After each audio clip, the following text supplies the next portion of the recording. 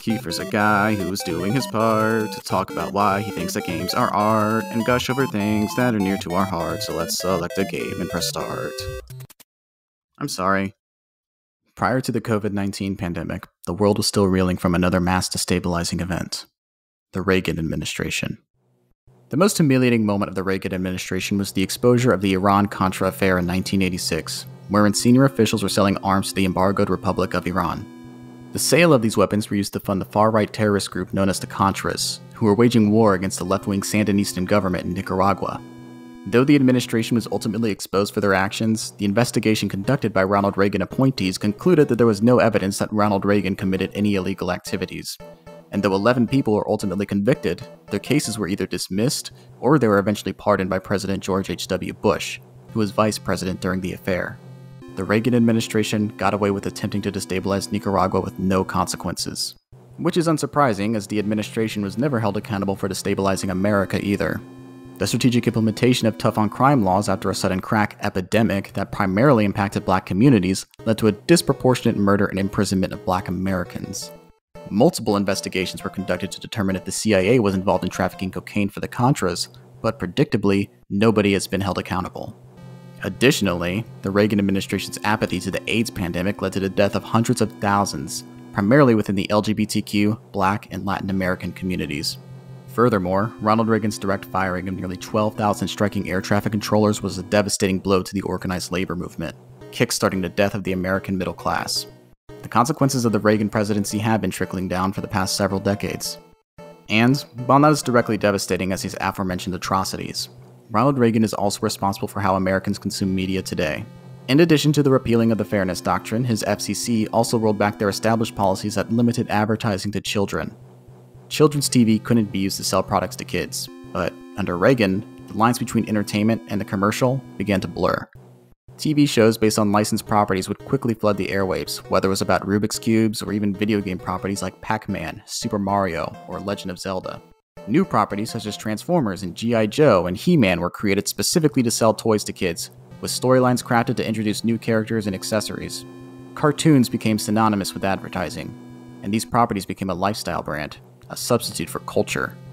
While certainly manipulative to advertise to impressionable children, many of these properties have endured for decades and would come to be widely beloved by audiences of all ages.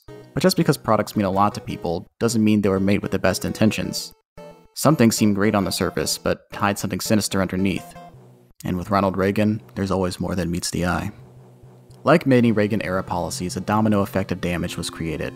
Deregulating TV may have created beloved pop cultural mainstays, but it further commodified art. Advertising no longer sponsors entertainment, it is entertainment. Congress attempted to intervene with a bill that limited direct advertising to kids, but Reagan vetoed it in November of 1988, near the very end of his presidency. Reagan's deregulation of television rippled into the film industry with an influx of product oriented movies. One such example includes the 1986 film The Transformers the Movie, which ended up failing commercially. But a much more successful and shameless example stands out the 1989 film The Wizard. The film was panned by critics as a shameless feature length commercial for Nintendo products, but was a modest financial success, grossing $14 million against a budget of $6 million perhaps because this was the only way for American audiences to get a sneak peek at the most anticipated video game ever at the time Super Mario Bros. 3. After Reagan left office, some very basic regulations were reinstated at the FCC, but the culture of consumption never truly went away. In fact, it ingratiated itself in our culture. The brand synergy by entertainment giants like Disney now speak for themselves, with their dedicated Disney Channel that uses its commercial breaks to solely advertise Disney products and content. But more concerning is the ramp up of the military entertainment complex in the years following Reagan's deregulation. Top Gun, a 1986 action film, was made in collaboration with the Department of Defense and rehabilitated the image of the Navy in the minds of Americans following the Vietnam War. It's become common practice in the years since for Hollywood films to incorporate military storylines and imagery to get DoD backing. Whether it's in Michael Bay's Transformers or the Marvel Cinematic Universe flick Captain Marvel, the military entertainment complex has rooted itself in what we consume. I say all this not to shame or scold people who consume it, but to point out the absurdity of our consumption habits and what brought us to this. Just because Disney takes military money to manufacture consent for proxy wars doesn't mean I think you're evil for liking Spider Man. But people were willing to endure a terrible movie like The Wizard just for a few minutes of Mario 3 footage. We can't trust the owners of the properties we love to use them responsibly. and the systems that protected the Reagan administration are still in place. He didn't just deregulate the media to make corporate influence stronger, he did it to make all right wing influence stronger. I'm Keifer, and this is Select and Start.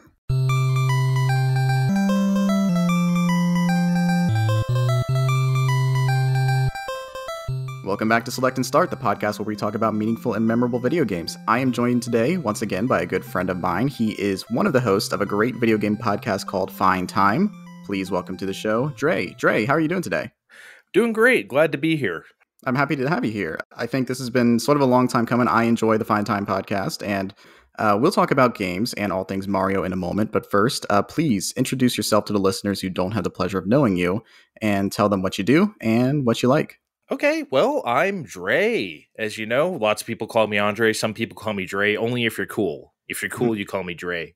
Yeah, I don't know, man. I love video games since I could remember. I don't do much except that. That's always my big hobby. I love old stuff. I love new stuff. I do a podcast as uh Keith. Can I call you Keith? Is that weird? That's fine. Yeah. okay. uh, I, as as he said, I I do a podcast called Fine Time. That's kind of my main thing right now. Uh, you can follow me on Twitter for my weird tweets, Pizza Dinosaur, if you really like to. Um, but yeah, I'm just I'm just a video game dude. I'm a good old video game dude. That's all there is to me. Well, there's no one more gatekeepy than the gaming community, so we're going to have to check your credentials here. Uh, so tell us a little bit about your relationship with gaming, your sort of history with it, what specific games you enjoy playing, and you know maybe cap it with what you've been playing lately. Ah, oh, my history with it. I I've been playing arcade games since I've had conscious thought. My very first memory is playing Galaga, like standing on a folding chair, like up to the arcade machine to play it. Mm-hmm. Like that's how far back that goes. Like most people my age, which is 40, oh my god. Uh the uh my first console was an NES. I got it for my fourth birthday, so it'd be May 86. Right. And I remember being floored by this because I had no concept of playing video games at home. So I remember someone hooking up to my TV, probably a dad or whatever, and being like, "Oh, you know, you can play video games on this." I'm like, well, "Where do you put in the quarter?" I was so concerned about the quarter, and he's like, "You don't have to put in a quarter." You don't have to put in a quarter. I was like floored. I was the best thing I ever heard in my life. anyway, so like, yeah, I was always a Nintendo kid growing up, as you could probably imagine geez, what was my first not Nintendo? Probably a PS1, I guess. Probably my first not Nintendo thing. From there, yeah, just your typical video game life. Always I had a I had a personal falling out with Nintendo. I think from like uh 2008 to like 2016ish. I didn't play any Nintendo stuff. I was gone, baby. Doesn't sound like I missed much anyway. But but yeah, I don't know. I love all the games. I've always been an arcade person first and foremost, so I think that's the, probably the thing to know most about me. If you want to know my tastes, it's that I grew up in the arcades. That is that was my first love, more than playing games at home. Always going out playing the newest and hottest machines was it for me.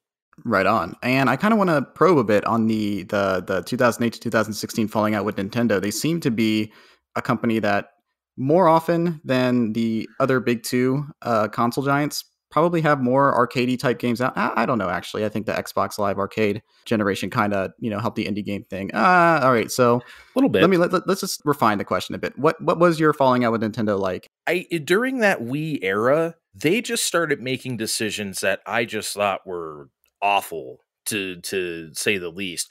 It was creeping up all through the 2000s, like when the Game Boy Advance and GameCube era started Nintendo of America particularly made really weird localization choices. I thought we just started not getting a lot of stuff here, but then we did. Like we were the only, I think, like what Advance Wars only came out here, right? They didn't even come out in Japan till they had like a two pack or whatever. We got that, but then like I don't know, Europe and Japan get Doshin the Giant and we don't. I don't know. It was like weird stuff like that. It was just like all the, all these little things, right? Building up over time, over time, whatever.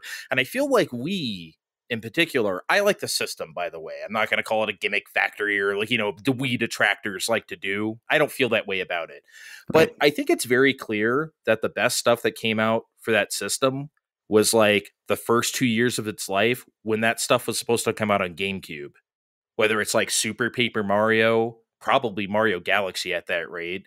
Twilight Princess obviously was on both. I think there was that Donkey Kong racing game that was supposed to use the bongos, and then it came out on Wii, and I'm like, well, now it doesn't use the bongos anymore. You got to use the Wii, you know, the nunchuck, and it's like, well, I have these stupid bongos. Just let me, let me, let me. But besides that, all those little nagging things. By the end of the 2000s, I just really feel like they were creatively bankrupt.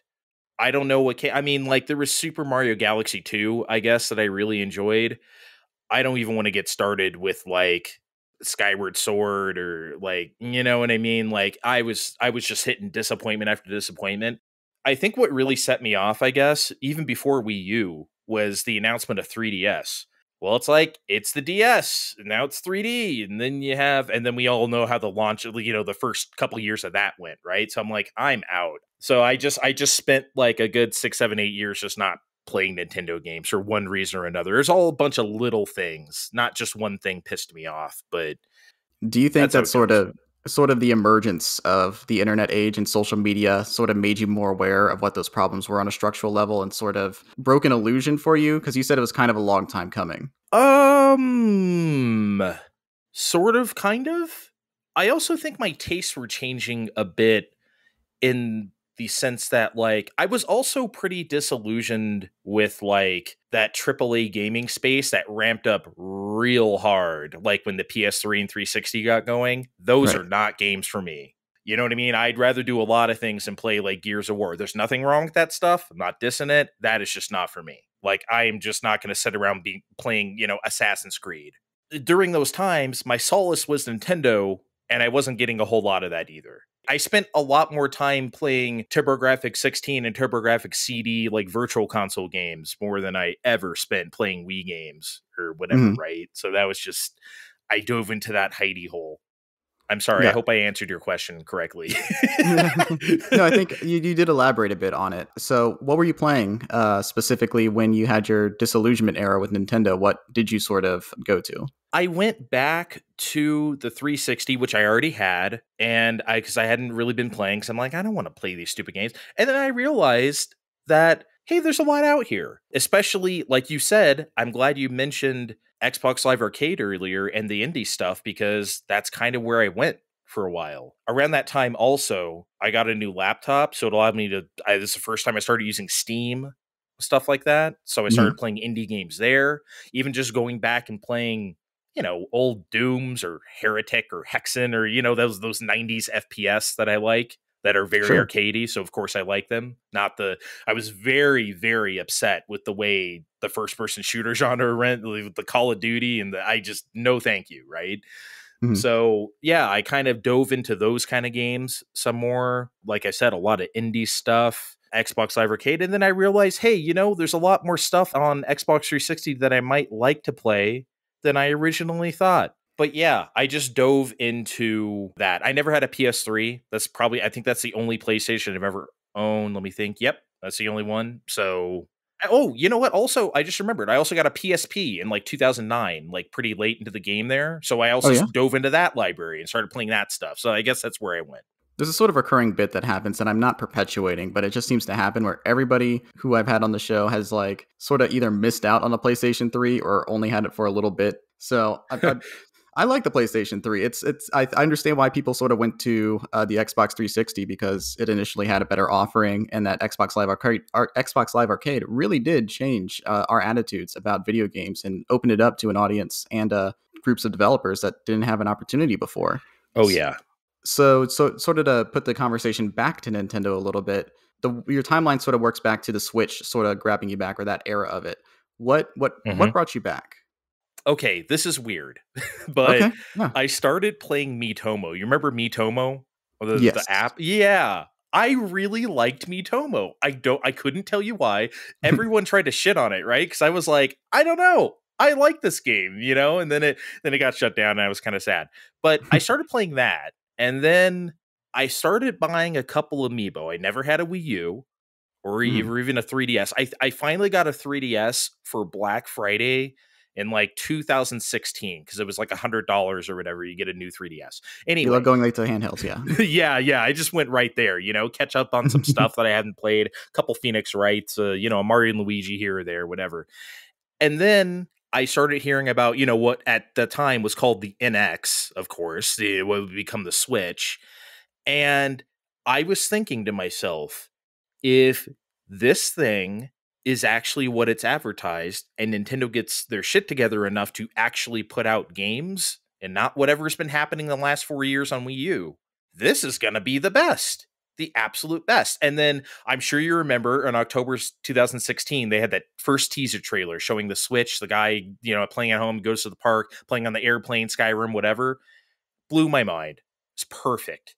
Especially, you know what did it for me? When he was sitting on the plane, he was playing, he had the two Joy Cons in his hand Mhm. and sitting there. And I'm like, oh my God, that is perfect for me. This is Nunchuck and Wiimote, but without the cord. This is great. And that's how I always play Switch.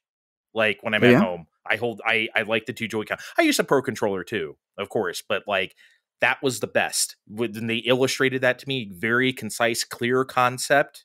It, it blew my mind. And then, of course, the January 2017 presentation put it over the top for me. So I was back. I was fully back. I went to business school. Not a lot of people know this about me initially, but I, I did. I uh, studied marketing and I actually did a project on the Nintendo Switch because I found that advertising campaign to be fascinating. There's that background redemption arc going on with Nintendo after sort of a confusing branding with the Wii U and making a console that is desirable and versatile and offering a selection of games for it. I thought that that was just a really compelling thing to make a project on. So I, I agree with you that the that they really found something there, and I mean it speaks for itself. It's now one of the best selling consoles ever, and it's uh, about to outsell the PlayStation 4, which was also a massive, massive success. That's so incredible. That is incredible. What have you been playing lately then? Uh, these last couple weeks, I've been playing the Overwatch 2 beta. I'm an Overwatch person. I I love that game, and I'm and I'm not really a online shooty shooty bang bang person. Obviously, Overwatch is different from that. It, that's what drew me to it. The characters, whatever. I'm actually not even a Blizzard person. Before Overwatch was coming out, I made fun of the art so hard. I saw Winston with his like bubbly like space. I'm like, what is this like fantasy or Star Online bullshit? I love PSO actually, so I, I was just I was just like, what is this, man? I don't get it. But uh, anyway, so I became an Overwatch person. I've been playing the Overwatch 2 beta. I've been enjoying that. I actually started playing something because of you. I don't think I told you this yet. Oh, You really? had some you had some errant tweet about I don't know, maybe about a month ago now when like PlayStation Plus the current system went live Mhm. and you were saying, "Oh, I'm going to you know, I meant to play Jak and Daxter for a couple minutes. I played for 3 hours. Oops." or whatever. and I was like, "Oh yeah, I never did really play that game because I had it on Vita and the port was so bad I couldn't I couldn't finish it. I started playing here now on PS5, you, you know, using PlayStation Plus. I loved it. Mhm. I loved Jak and it was great. It was a great game. 8 to 10 hours, just a great little platformer. Then I played Jak 2 and I boy, I hate it. Now I, I this afternoon I just started playing Jak 3 and I'm like, you know, what? I may as well just finish it. Screw You're seeing it. I, I don't yeah. I'm gonna kill Praxis! I love the shit out of Jak and Daxter, especially the first game because that was the one that I grew up on. I didn't come to the future games until I was a, a teenager. I think that that first game is really something. It's very strategic, actually. Naughty Dog Mhm. developing a game that takes a lot of the sensibilities of the visual sensibilities of Legend of Zelda, but putting that in a Mario type platforming space, and then creating a sort of challenge for themselves by creating an open world that doesn't have any loading screens. It's great, and I, I'm, I'm glad that you played it. I had no idea that you played it on a, on my recommendation. Yeah, kind of. Like, well, I mean, I was always interested, but you know, I bought the wrong version before. So it's, but you, yeah, you put that seed in my head. It's like, oh yeah, I need to play that. And you're right. I actually agree with you. I always say I don't like 3D platformers. I like Mario.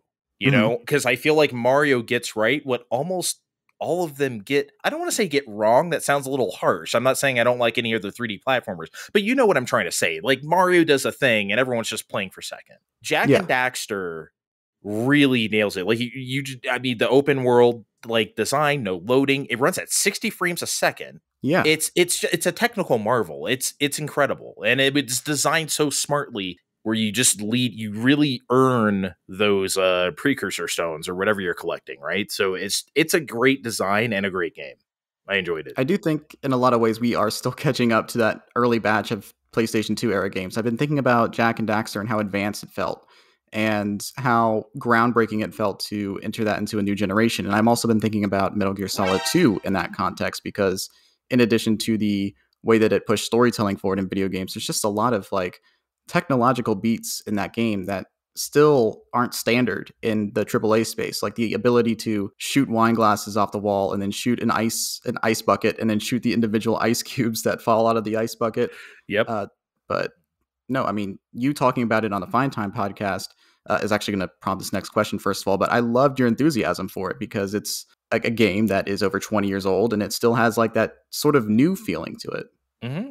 Yeah, there's just not a whole lot like it even at the time and before or since, really, I guess, because, you know, to reiterate what I said on there, I think a lot of games are of that type are built where it looks like here's a bunch of platforms in midair and here's a like there's nothing wrong with looking like an obstacle course you know mm-hmm. like and i think i used the example that super mario 3d world looks like an obstacle course but that works because it's like a linear thing and you want that sort of mario you know acrobatic mario sort of thing right like it works right but if you play like, I don't know, Ty the Tasmanian Tiger and you have like all these like, you know, just doodads laying around and it's like, well, this is what a platformer looks like, right? And it's like, no. That's why I don't know, 80% of that genre I just just really can't get into. Jak and Daxter was an exception because that game is exceptional.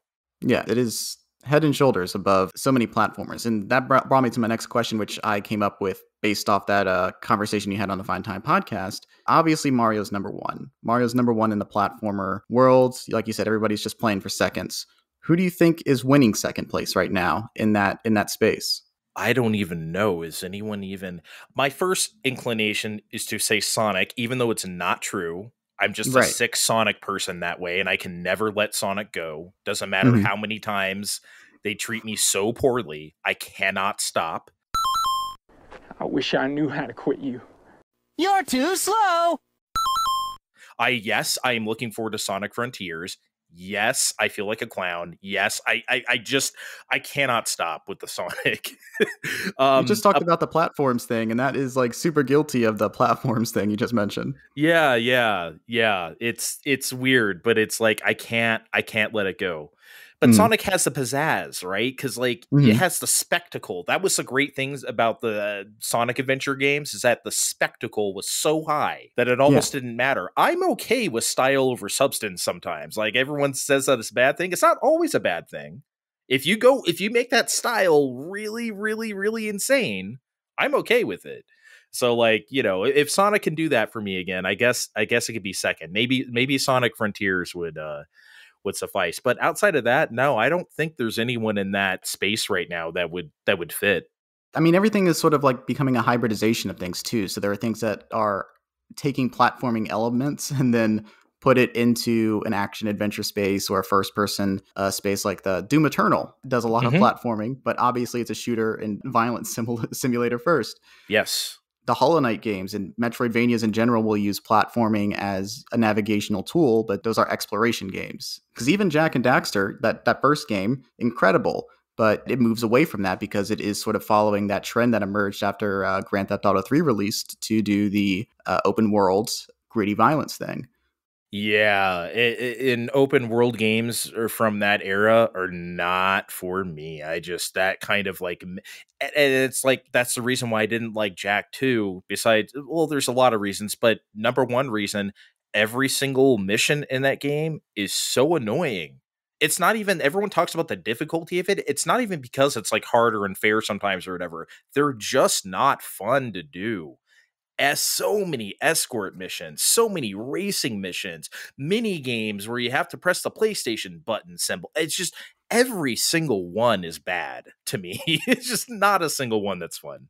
Really thinking about it, I can think of like games that are like one and done, amazing platformers. Celeste is one I can think of. Cuphead. I really like Celeste. Yeah. I mean, I guess Cuphead is also again one of those like hybrid genres where it's also a uh, a two player Contra type game, but that strikes out to me.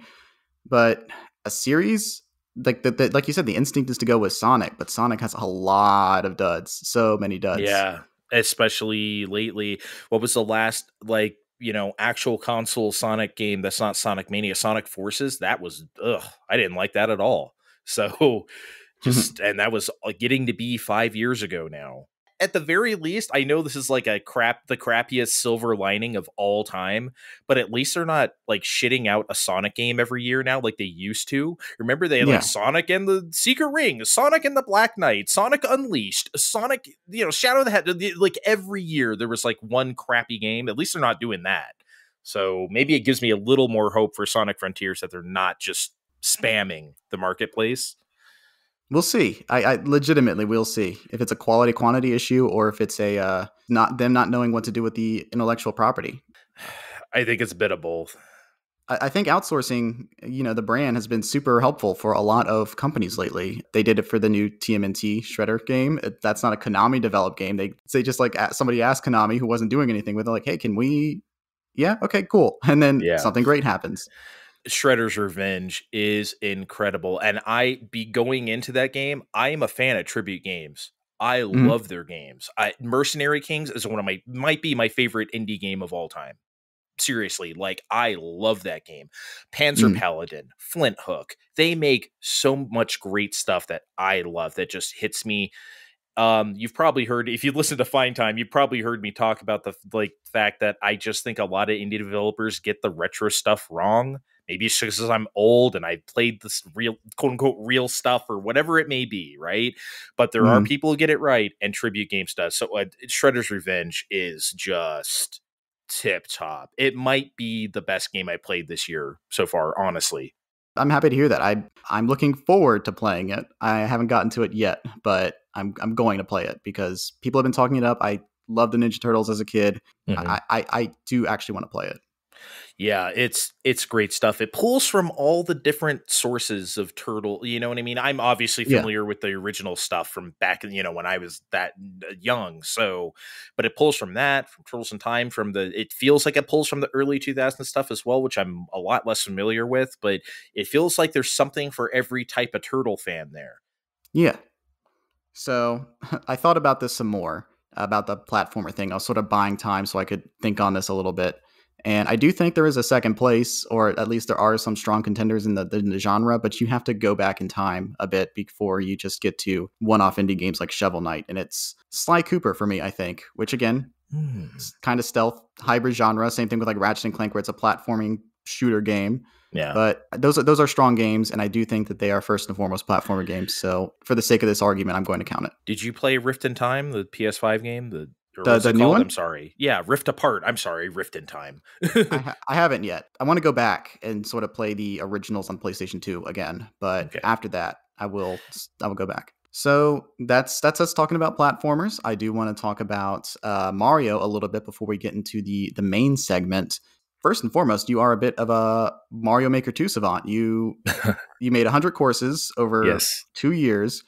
Uh, what was your approach to making these levels, and what lessons did you take from the Mario series while designing them? Oh man. Can I start by saying I never thought I would make 100 courses. When it comes to games where you could make your own levels, I've never really done that stuff before. Mm. Even like little puzzle games like ChuChu Rocket or something. Here, make a little puzzle for your friends to play. I've never even really done that stuff that much. With the Mario, I felt uniquely qualified for some reason because that their level design philosophy clicks in my brain in a way that nothing else really does. So I think my my general approach to making courses in Mario Maker 2 was what do I want to play? What do I want to see on here because I'm looking at other courses that I don't like or that I'm like, "Oh, this is really good." I think I pulled more from the bad examples. Of course, you know, with any game like this, you can go on and find it, uh, you know, mi- literal millions of, of bad courses, right? Mm-hmm. So I took from the bad ones, I'm like, what do I want to do? How could I have done that better? And, but uh, that's also, this is weird to admit too. I don't think I've ever said this out loud, but I'm gonna here. This is a, this is a select and start exclusive. When they announced Mario Maker, I think in a direct in like February, what 2019 or something. So it was like four months before it came out. I at work between slow moments would start sketching stuff on paper of courses that I'd want to see, ideas. I'd sketch out like remember how like in Nintendo Power they showed like the whole level in like one long picture or something. I would start doing Yeah. stuff like that and start sketching. Here's a little jump. Here's a little set piece I want to do. Here's the kind of enemies that'll be there. And I wrote like 30 of these on pieces of paper and I kept them all. I didn't really know the kind of stuff that would be in Mario Maker 2, like what kind of enemies they would allow you to make, or you know what I mean? Obviously, they're not going to have every single Mario element, but I just wrote them as is, put the ideas out there. I ended up using at least like 20 of those Nice. in some form or another. There was just some, like I said, and I never had a Wii U, so I didn't have Mario Maker. I wasn't going to get on 3DS because, you know, the way the online worked. So Mario Yeah. Maker, yeah. So Mario Maker 2 was going to be it for me. And boy, I was just, I was ready.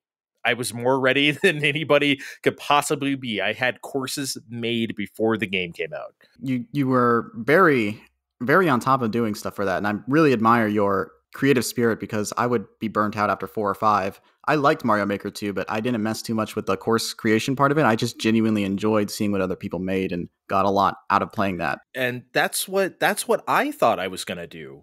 I thought Mhm. I was gonna make five to ten courses max or whatever. Have I have a few courses, but I thought I was mostly going to play other people's, and I did play a lot of other people's, but I never thought I would just keep making them. But when the game when the game first came out, I was making a course a day practically. I'd come home from work and I just sit there for six, seven hours and bang out this thing. A lot of it, especially the early ones, is because I had no idea how the tools work. So I was just experimenting, seeing what I could do, seeing what I couldn't do. Hmm. But I wasn't going to put it out until I was happy. That doesn't mean like work on it for two weeks until I have this like very perfect thing, or you know, I don't go, I didn't go overboard with it. But I was like, I'm not going to put this up until I do a run of this where everything feels 100% to me. And that's also, I guess, that was also going back to your previous question, one of my design philosophies. Until I feel totally good about it, I will not put it up. That was that was always my number one rule. That's great. I really appreciate you going into it because I do love people describing their creative process, and I, the way that that manifests in so many different things, I, I, I genuinely admire it. I am lazy by nature, but there Mhm. are things that I do love seeing through because my brain responds to certain stimuli in a certain way. I always complain how much I hate editing, but I never, ever in my life half-ass it because I'm always trying to create the best experience sonically for my listeners mainly, but also I love finding little lulls and things where I could insert something or finding a little, you know, audio or visual gag that I can put in a video or a, or a podcast episode. So it's not the same thing as designing a level, but I do think the characteristics are the same where it's sort of like, you know, you have an idea, you sort of want to see that idea through and then like something new transformative emerges out of that. So Yeah, that's sometimes that would happen uh, when I was working on a course. Two other ideas would pop in my head. Oh wait, maybe I can do that. I sometimes I have a problem where I try to shoehorn something into Mhm. the course that's just not working, and I'm like, okay, this isn't going to work here. Let me build this out on another course map, and maybe I can use this idea for something else. And that's how other other courses get started too because i'm like oh remember that thing that wasn't working out here let me try to build this out here that happens so much too i almost think of that as like i don't know a, a- you know those bands who work on like demos and song fragments and stuff like that well it's like well not everything's going to work but you know you can't mash them all together but maybe they can become a song unto itself that's kind of how i thought about it i guess kind of, yeah, I- that makes sense. So I try not to use the term over or underrated as much as possible because it's an easy way to come across as pretentious. mm-hmm. differentiating your opinion from the masses. Art is a subjective experience. People have their own tastes. That being said, what is a Mario game that you think you like more than others? hmm Like a, a- aside from like the general consensus, one that you think you have a greater appreciation for? that's a really good question i think mario galaxy 2 Mhm. is so incredible. Like, it's not that people don't like Mario Galaxy 2. Of course, people like every Mario game, right? Yeah. But people and and Super Mario 3D All Stars a couple years ago didn't help, right? By not having that game. They had the Yeah. three others not have Galaxy 2. I thought that was insane. Anyway, that game is so much better than the first one. And the first one I love so much. The first Mario Galaxy. I just think two is better in some ways that doesn't diminish the first one. It's just that people tend to think of the game as, oh, it's more Galaxy. And it is, but goddamn, it is. It, I, I'm almost at a loss for words. Games that I love that much, I almost don't even know how to speak about them sometimes. And that's how I feel about Galaxy 2. I just wish people wouldn't think of it as more Galaxy. It doesn't really get the standing on its own because it's of that number two, right? I guess. Yeah. And it's just using the same graphics on the same system, but I don't know, man. There's something about that game that clicks in a way that doesn't just feel like a level pack or you know what I mean? I feel like that's a cohesive project that is so incredible and I don't think it gets talked about in those terms because we, you know, there's Mario Galaxy 1, right? So, mm. I don't know. Maybe that would be my pick. It's Galaxy 2. I mean, that's a great pick. I think that again, the the, the two part of it sort of diminishes the the the value among certain fans. The fact that it doesn't really iterate on the story of Galaxy, which I mean, it's a Mario game. They're not as much as that is probably the most story heavy one. This isn't that kind of franchise. I guess mm-hmm. something that we all have to come to accept. Barely acknowledges Galaxy if it does at all. No, I think that it does, like you say, refine on the formula. It doesn't feel like a series of deleted scenes or a level pack. It does feel like a complete product and a very full one. It doesn't it doesn't skimp on the on the content whatsoever. Not at all. Yeah, it's it's just an incredible production. Just ace. Even during that came out during my Nintendo, you know, off period, and I still went back and I was like, I love this game. It's one of the just when you think you're out, you're back in. You know, yep.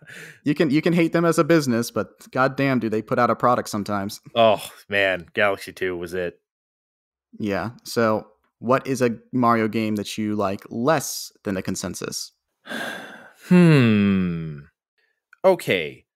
This seems to be the easy answer is to kind of shit on Super Mario Sunshine because I know a lot of people do, right?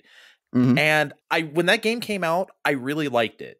And I didn't mm-hmm. like it as much as other Mario games, but I really did. I really hated when people said it was bad or it's not. I mean, just yes, it's Rush. They had to. It's a GameCube. They had to get it out the door. I get it, right? It's not all it could be, but it was really good for what it was.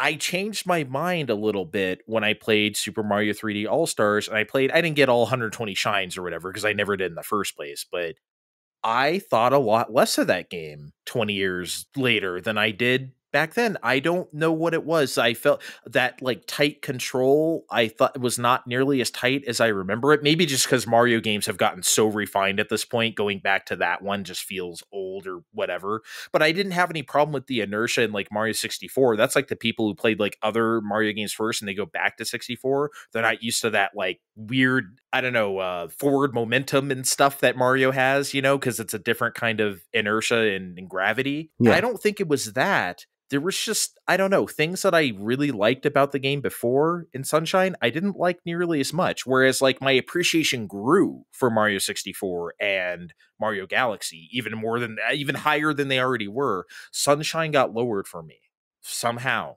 so maybe I guess that would be it.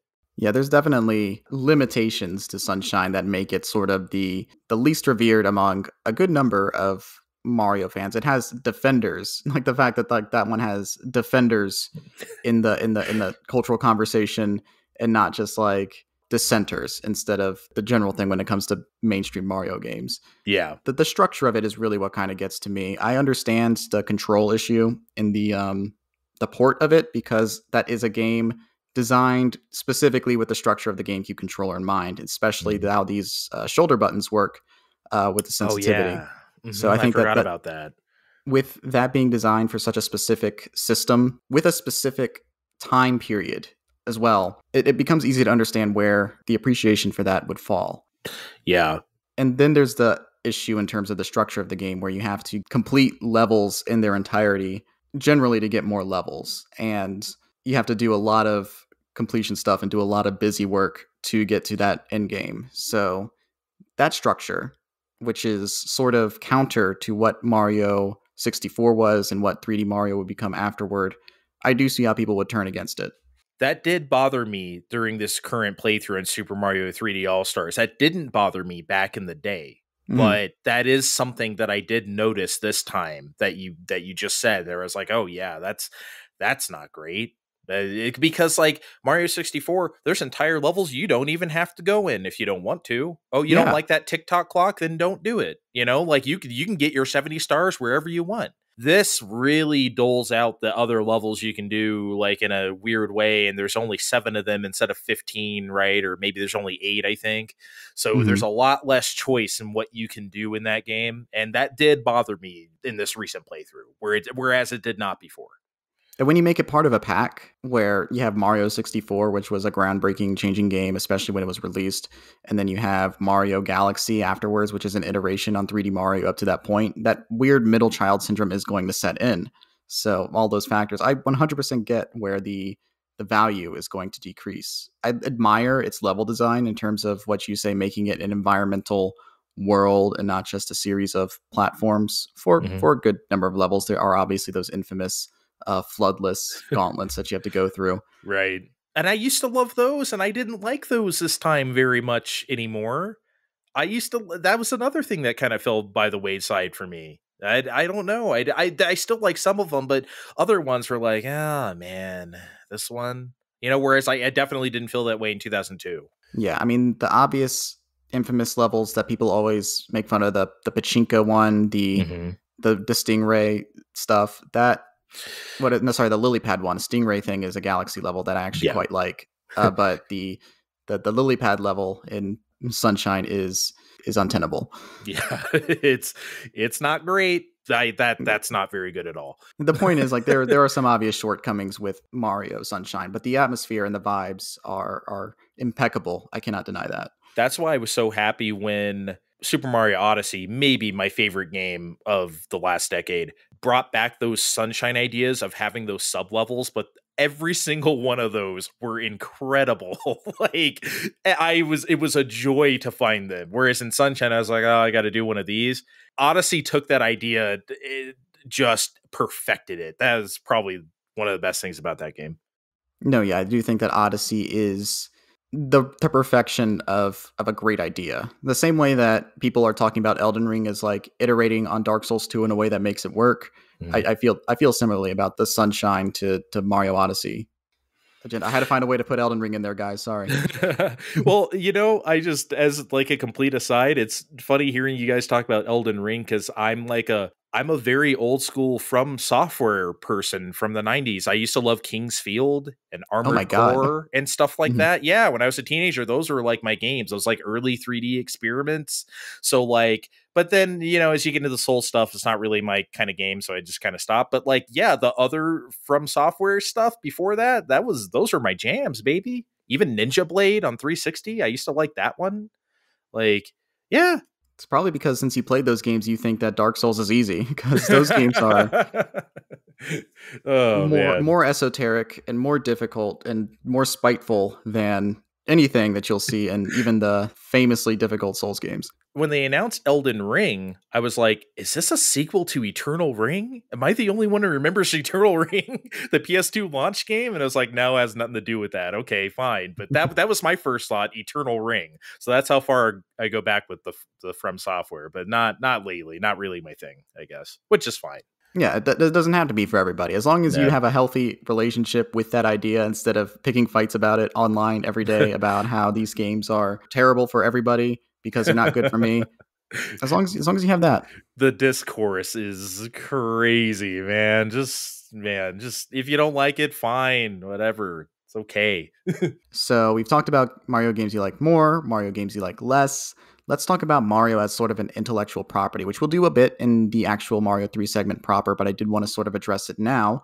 What are your thoughts on the upcoming Mario movie? Oh my god. I think this is going to be good. I'm Okay. optimistic for this. I don't know why. Maybe because Miyamoto's involved. Not that everything he touches turns to gold all the time, but I just I feel good about it. I I maybe I don't really have any like concrete reason why. It's just it's just a feeling. I think this is going to be a good movie. Okay. Um, so like you said, you don't really have a vibe for it. My my caveat with that is Illumination as a as an animation studio doesn't have the the the most incredible track record. So I'm always curious about like why why this company? The you guys have been so so protective about this this this property as soon as the Mario movie came out. Before then it was like if you want Mario whatever, we you can do whatever you want. But suddenly a movie does deviate so much from the vision that the creators had for this franchise that they lock up. What is this property offering? Is it because they will let you be more direct with it? I just have questions, you know? It it is weird how sometimes a company will let that one thing really spook them for like years. Like, Mhm. what was that movie that bo- uh, Fievel Goes West? What was that Disney movie that didn't do that well, and they just stopped doing sequels in the in the Renaissance era? I can't remember what it was. Walt Disney Pictures' The Rescuers Down Under. They were like, "Oh wow, we can't do we can't do that anymore," and then they just you know went on and made you know they only made the Lion King. I mean, God forbid, right? But like, I'm just saying that like, yeah, that that Mario movie from 1993 spooked them in a way that's really weird, isn't it? I mean, it's been almost 30 years, so like, I understand they want to be protective if they want to put Mario in a movie again, but yeah, Illumination Entertainment, maybe they just thought it was like safe or cheap, maybe a combination of both. They do work cheap, but uh, as you can tell, but like, I don't know, man. It is weird that they've been so protective, but yeah, Mario pencils, Mario trapper keepers, Mario everything, right? But this movie, let me tell you, don't, you know, They're very generous about Mario in terms of giving other developers a chance to play with the property. That Mario and Rabbids game doesn't seem like something that the Nintendo of 20 years ago would have allowed, but Oh, that's, no. that's, that's kind of a, an innovation. So it's kind of seemed like them like, okay, we are we're wading into the waters now. Obviously, we can't be pretentious about Mario anymore if we're just going to make a jillion Mario parties. Let's let some other people take a crack at it. Let's let's try a movie. But there is that also the Chris Pratt of it all. yeah, The context of what is that going to be? Is he just somebody inhabiting the body of Mario? Is it Mario the guy himself? This is a weird example because it's an ongoing cartoon or was an ongoing cartoon. They used uh, Don Cheadle as the voice of Donald Duck in the recent DuckTales cartoon hmm as a gag because Donald Duck is incomprehensible, and they're like, it'd be funny if you were if you were Don Cheadle for this episode.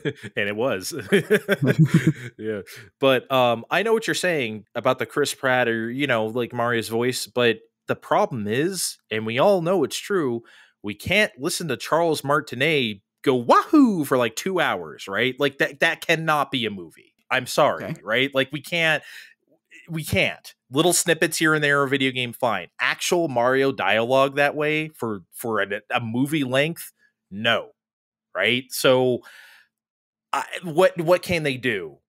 I guess Nintendo. I, I think this is maybe the only thing they could do. But it's interesting that you said the body inhabitation. I didn't really think about it from that perspective.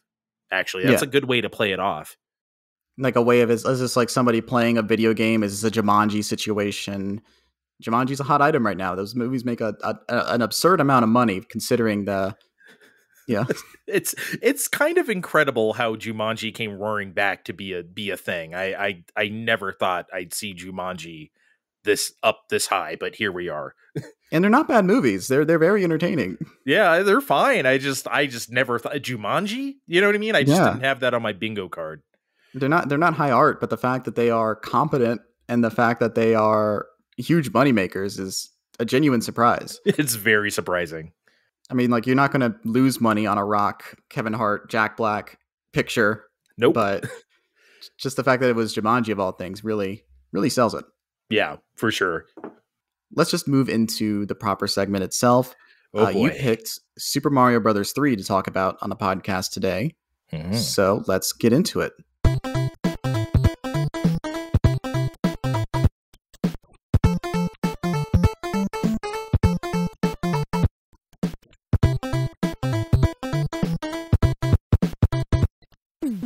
Super Mario Bros. 3 was developed and published by Nintendo for the Nintendo Entertainment System. Uh, it was directed by Mario creator Shigeru Miyamoto, as well as Takashi Tezuka, with music composed by the GOAT himself, Koji Kondo, best known for his work on various Mario and Zelda games. This is Kondo's second appearance in the podcast because he composed A Link to the Past. But yeah, Koji Kondo, the great. Yeah, Koji Kondo. Can I can I actually start there for some reason? I don't know why I want to, but it just came to my head. I read an interview or something, some I don't know if it was a translated article or something from the time saying about him being so scared, not scared, maybe that's the wrong word, but feeling the pressure because he's like, I just wrote the most iconic video game song of all time in the Mario theme. What the hell do I do now?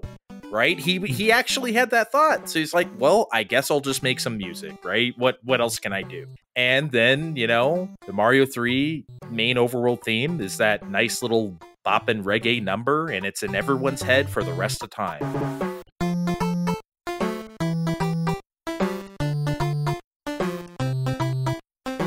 That's all you got to do sometimes. It's funny. I mean, I keep, I always make music analogies, even on Fine Time, but just like, you know, if you make your Dark Side of the Moon, if you make your, you know, whatever, right? What do you, mm-hmm. what do you do next? Just keep making more records. What else are you going to do, right? That's, that's what a, it's the only approach you can have. And I'm glad he did because the music in Mario 3 is the best. it's terrific. It does feel like a genuine step forward, and it feels like I mean, the whole game feels like this, just people mastering the system towards the end of its life, just the refinement of everything. It is the swan song of the NES in a lot of ways. It all, it all, it all goes together. And the idea that Koji Kondo felt insecure about it, considering how we view his music as essential and medium defining, is it's, it's reassuring, actually. Yeah, he he talks about his frets with stuff a lot. Like when Mario World was happening, he didn't know what to do with the Super Nintendo at all. He hated it at first. Like he didn't understand the sampling of it or the sound. You know what I mean? And of course, listen to the game. He got it right. right but it he always has that oh man what do i do now so it's great to hear even the greats feel that way yeah I, I feel the same talking a bit more about the background of this game it was released in Japan in October of 1988, but it wouldn't come out in North America until February of 1990, due in part because importing and localizing games was much more time consuming, but also due to a shortage of ROM chips in 1988. Imagine supply lines being negatively impacted by chip shortages. Uh, I guess we're still nostalgic for the 80s, guys. we're here. Ronnie Reagan, I'm going to bring you back to life to put you on trial. You have a lot to answer for, buddy. I mean, come on. Can never Mario 3. Can I talk about that actually? Um Go for because it. I think one of the fascinating things about Mario 3 looking back on it, and of course I didn't think about this way because I was what, seven, eight years old, is that it was the first hype cycle for me for a video game was Mario 3 because we yeah. knew this thing existed. I didn't know it was already out in Japan, but I knew mm-hmm. like this this Mario 3 is coming, it's coming, it's coming all throughout 89 we snippets here and there, Nintendo Power, little little things, right? So it was like a perfect storm for Nintendo. Yes, they were waiting for ROM chips to become available, but it also allowed them to hype this thing up to the moon. And so yeah. when February 90 rolled around, you couldn't find that thing, man. You could not find it. We we looked everywhere. It's uh... our, our neighbors had one. We could not get one until my birthday in May. That's that's insane. The idea that even then the supplies were just off the wall. It was a hot item after Christmas. Like yeah. in the beginning of the year, you could not find this game. That was the best birthday of all time though, man. That that May 1990, my 8th birthday when I got let me tell you about my mom, the MVP. Okay. Okay. She. That's the podcast she, is about. she. We grew up in San Diego. There is a chain of stores called Playco. They're all around the all around the city. That's that was the store where you wanted like board games, Legos, video games, whatever. Right. She camped a Playco or something. She found out when the next shipment was coming. She got me Mario 3, Mario 2, and all four Ninja Turtle action figures Leonardo, Donatello, Raphael, Michelangelo, those were so hard to find too. I remember we'd go to every Saturday afternoon, We'd go to Kmart, do a little shopping, get lunch, whatever. And I, you know, she always let me get an action figure or something. Turtles were the only thing I cared about. You could never get the turtles. I had Shredder, yeah. I had Krang, I had like foot soldiers and stuff. We just couldn't find the turtles. They were out, man. I don't know how she pulled this off but she did. That was like the best birthday of all time. That so shout out to my mom. Thank you. I mean, that's an incredible story. Like legitimately, that is that is so touching. The things that people will do for their kids, man, it's yeah. This justifies me making the podcast, just hearing these stories. It's not a story I tell very often for some reason. I guess maybe because I don't think of it. But yeah, it is great, honestly. You know, you don't really mm-hmm. think about those things when you're a kid. But even though I was overjoyed at the time, I just I was it felt like Christmas times a thousand, you know? Yeah. But now looking back on it, damn, that lady must have did some work to find all that stuff. So Thank you. But yeah, Mario 3, that's when I finally got my own copy, May 90. So I had to wait a few months, but Worth the wait. Mm-hmm. Obviously, we're talking about it 32 years later. yep. I, I actually do have a note about the uh, mass marketing of this thing because they had a marketing budget of $25 million, which was massive God, for a video game. That's so much in 1988, 89 dollars, man. I did the math on it. It'd be $57 million today. That's more than double. Wow, So- man. No, it's a lot of money. And it really, the mass marketing for this thing is just super fascinating. And we'll, we'll get into the detail about it. Trust me. As again, someone who went to business school, you see what they're really trying to do here is make the brand mainstream. This is not just about selling what they believe to be the best video game of all time. And probably definitely was the best video game of all time Yeah. to that point. So, but also just making Mario a brand that's here to stay, not just Mario is the most important like character in video games. Mario is a character that is going to be everywhere. You are going to have Mario everything. It, it pays off. That is an investment where now Mario is probably the most ubiquitous public figure besides maybe Pikachu and Mickey Mouse and like it's like Hello Kitty, Pikachu, Mickey Mouse, Mario. Those are the big four. I was gonna say, is Mickey Mouse still up there? Because I don't know, we haven't seen a whole lot. Of, I mean, it's on every Disney thing, of course. I'm just saying that, like, I, I guess he would be, but Mario's got to be higher than that now. You know the, the the Matt Groening philosophy of like a character has to be recognized as a silhouette to be truly iconic. Yeah, and. Mickey Mouse is just a shape now. It's a figure. It's it's it's its own thing. It's Yeah, it's it- more than the character now. Yeah, you're right. It, it doesn't even matter about like, oh, we haven't had a Mickey Mouse cartoon in you know 50 years. Well, it doesn't matter. It's Mickey Mouse is Mickey Mouse. That is ingrained in everyone's memory, passed down forever and ever. So Yeah, even if Mickey Mouse isn't a defined personality or a particularly interesting character, it's just like it represents a conglomerate, the biggest you know media company in the world. So it, it doesn't matter. It, it's just Mickey Mouse is. It's God basically. If we're talking about the mass marketing of Mario 3, I'm sorry, but we have to talk about the wizard. We have to talk about the I'm sorry, but we have to talk about the wizard because it is the single most shameless film ever made from a from a corporate standpoint. It's Mac and me levels of just completely we have to we're, we don't have a movie we have a toy we want to sell you and you are going to buy it because you want it here's the thing about the wizard i've never seen it Right. nobody at the time when when you know we get at mario 3 hype was going on we didn't oh we never went to see it we knew it was the movie that had mario 3 in it nobody mm-hmm. i knew went to see it it didn't do that well at the box office from what i understand but it almost doesn't matter right it was just the whoever is going to go see this no matter how many people that is they're going to be blown away by seeing this mario game that doesn't exist yet that's crazy at the time.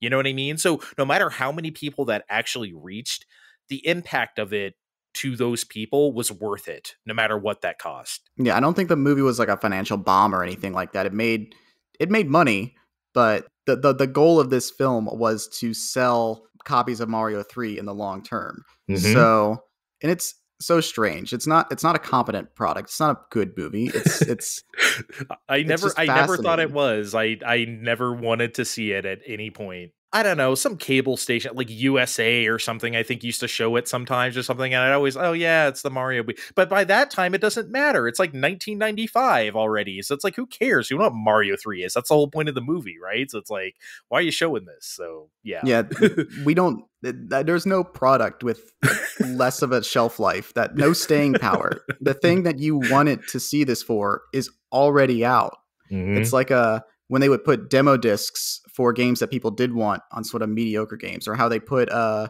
the, the trailer for the phantom menace ahead of meet joe black Oh, yeah. I forgot that was a thing. Yeah. Well, you just flashed me back to the one of all time. They they slapped the Final Fantasy VII demo disc in Tobal number one, right? The fight, the Akira Toriyama fighting game. Which, Mhm. like at the time, I loved. That was one of those things that was like one of the biggest illusion shattering things ever. I love that game, and then I played it again like 2004, and I'm like, oh my god, this is like the absolute worst. I cannot believe I like this. But yeah, sometimes you can just get that going. You can put that demo disc and whatever. Now, of course, we don't do that anymore, but what a strategy.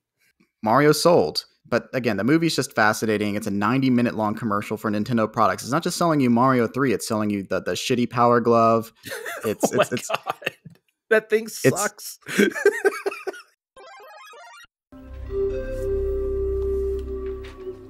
I love the Power Glove. It's so bad. Have you ever used one? Have you used a power No. glove? Oh, No. don't. It's it's crap. It's as bad as advertised as people say it is. It's it's not good. the thing is like how stacked that this cast is is a thing that's been staying with me since I've done the research for this episode. Christian Slater, Beau Bridges, Fred Savage, a 13 year old Jenny Lewis before she's the front woman of Rilo Kiley. Oh my is- god! Wow, she's in that. Okay. And there's like they, they they really believed in this product to develop Nintendo as a brand. They weren't embarrassed by it. They were just shameless about it. Yeah, It- I'm- it's mhm. it's weird. I'm sorry to interrupt, but it's like I'm, I'm just thinking like imagine if someone was like so proud to be in like Ready Player One or something. If it were like a real video game based off a real video game or something like that. If like you know all had all the stars or something. That just seems inconceivable now. Yeah. But the game finally comes out in 1990 to paint a picture of what 1990 was like in the, the video game sphere. Castlevania 3, Dr. Mario, Outzone, Secret of Monkey Island, Phantasy Star 2, Michael Jackson's Moonwalker. Oh yeah. So, it was a time, baby. If you were not a kid in those times, it, it was as wild and weird as it seems. It was it was fun.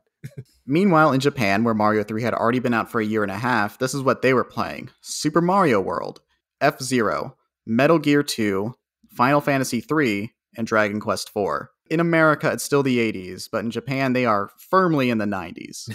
yeah, they have they have leaped ahead. That's there's only a year and a half North American time between th- three and World, right? So that's Yeah. That's kind of weird to think about now because the Super Nintendo came out August '91. We got the one the next month, so September '91.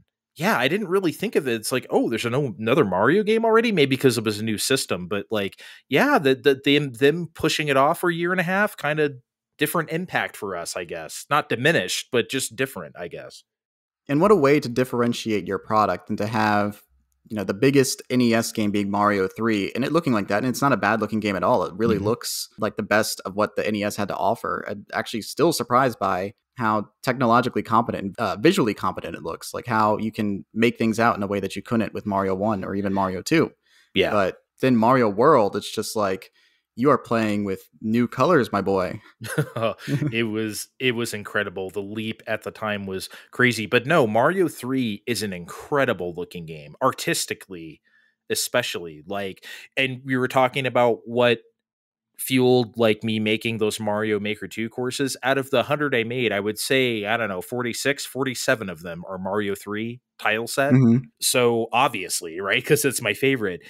Those semi-solid platforms, those pastels, the white, Mhm. the, the the the blue, the the pink, the green, whatever they may be in in whatever level they're in, that just set me that just set my brain ablaze, I guess, of like creativity. It's just like, man, I want to use these as much as I can. I actually made a course one time where it's like, because you know, you have like part limits in Mario Maker 2. And I was like, how many semi solid platforms are they going to let me make?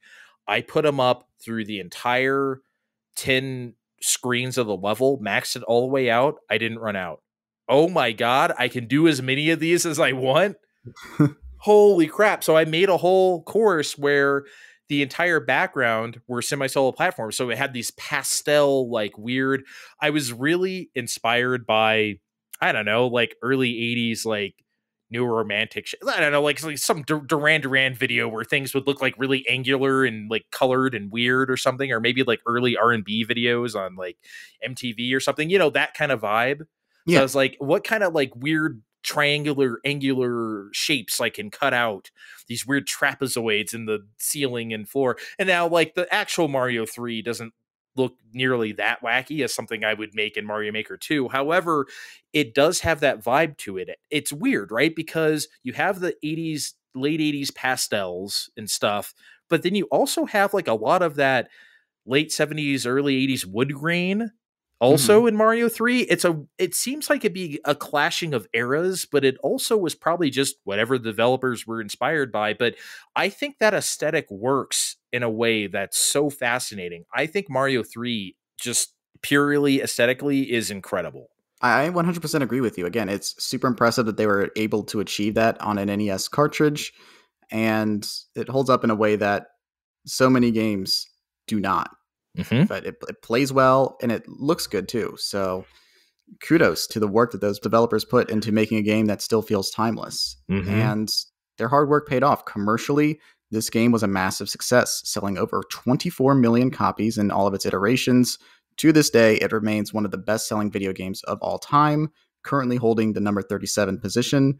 And many of those best selling games are pack and bundle games or recent massive releases like Mm. Minecraft or Grand Theft Auto 5. So the fact that Super Mario Brothers 3 is still up there is incredibly impressive. The scale has to be considered because of what video games are now versus what they are then Mhm. and how certain games are sold like Wii Sports and even the original Super Mario Brothers are, they just they come with the they come with the console. This is not only an achievement in the world of video games at the time, but it firmly establishes that Mario isn't just a gimmick. It's not the thing that sells you on the console. It is something that we are going to sell you forever. Yeah, it really established it as not a fad or not a passing thing. Then it not just Mario, but Nintendo. Nintendo is here to stay. It just a success in every sense of the word, artistically, financially, as an establishment of Nintendo and Mario, just everything about Mario 3. Yeah. For sure. So this is the best selling game that I've actually discussed on the show so far. I, I like to be weird about my research and just find figures like that. Mhm. Based on my research, the closest in sales to Mario 3 that I've talked about on the show is Fallout New Vegas, which has apparently sold 12 million copies. So Oh yeah. Mario 3 sold double that. yeah, a game another one of my favorite games of all time, Fallout New Vegas. Yeah. Honestly. But uh, if, if we're looking purely at sales numbers, as it stands on Twitter would say, Mario 3 outsold. So Yep. Yeah. It- and the fact that again, you're right. Like the fact that that number still holds up to today's numbers is Mhm. crazy talk. Like I think Mario Odyssey just got to like 23, you know, and it'll probably go past it, but like it just got there after 5 years, you know? so like that's that's wild to think about. Yeah, those are Pokemon numbers. Those are those are unbelievable amounts of Mario as a brand. There was a fucking TV show just about Mario 3. It was Yes. called The Adventures of Super Mario Brothers 3. Yes, it was. Yeah. Oh, I remember that one. 26 episodes. And again, it goes into that whole Nintendo used to be like, yeah, do whatever you want. It'll make us money. It's part of the image. Overall, I do think that this game is to the Mario series what A Link to the Past was for Zelda. It's not just a refinement of an established formula that pushes the series forward. It's just like innovative. It builds on the tropes established and creates new ones and makes sort of a permanent aesthetic for the series that subsequent entries would build on.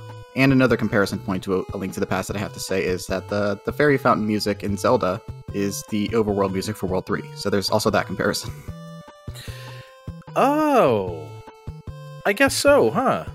You never noticed that? No, I usually don't make connections like that. That's really interesting. You're you are absolutely correct. Because I was a Zelda kid growing up. A friend of mine had an NES that we played Mario 3 on all the time. Like it was like at a babysitter sort of thing. They had an NES. Uh, we played a bunch of Mario 3 on it, and I clocked that. It's like that's the Zelda music. What? And That's so That's- wild. I've I've thought about that every time I hear it. It's just like, da, da, yeah, you know. Yeah, I because I um I've made other connections, especially of Jun Ishikawa, the guy who composes the Kirby games. As Mhm. non Kirby games, I've made a couple connections. Oh, wait a second, that sounds like that other game he did from a long time ago. Yeah, I've done a couple of those things. Never with Koji Kondo though. That's weird. talking about the the significance of this game for the brand of Nintendo, for Mario as a franchise, the, the sales numbers. Just to talk about the significance of it in a cultural sense, though, I got this article from Joystiq.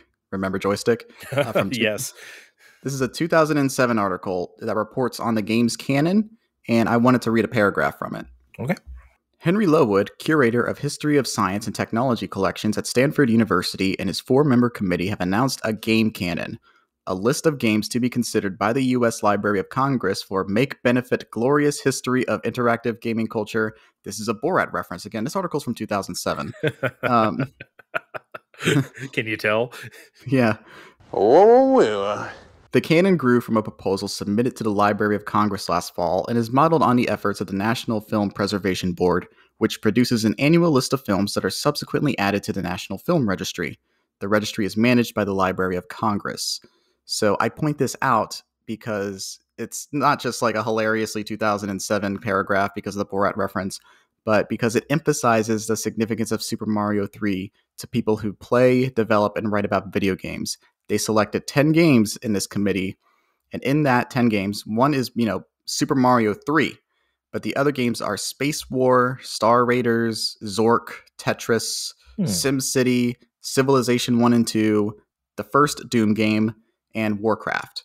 And you'll notice that it's not Mario 1, it's not Donkey Kong, which would have been the originators of Mario 3. They picked Mario 3 specifically. Yeah. And It- uh, sorry, the, the 10th game was Sensible World of Soccer 1994. Okay.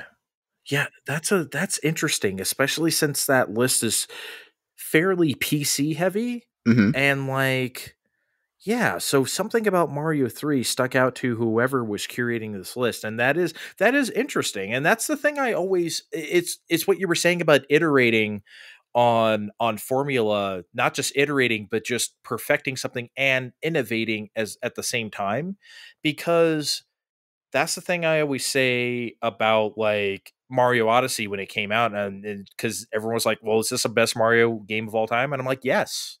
I, I Mhm. just there, of course it is. Like, I'm okay. Yeah, Mario 64, innovative, uh, groundbreaking.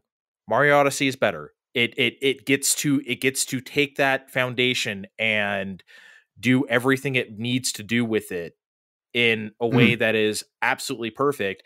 That's what you can say about Mario 3 as well. It ta- it takes those it takes that formula and it just hits every note. They knew exactly what they were doing. It's funny you mentioned the term swan song earlier because that yeah, they knew the SNES was coming. They knew that let's, let's make that one Mario game, right? Mhm. I mean, and they know it too. I mean, they started Mario World development of Mario World by porting Mario 3 to the SNES and like playing around with it. That's how the development started.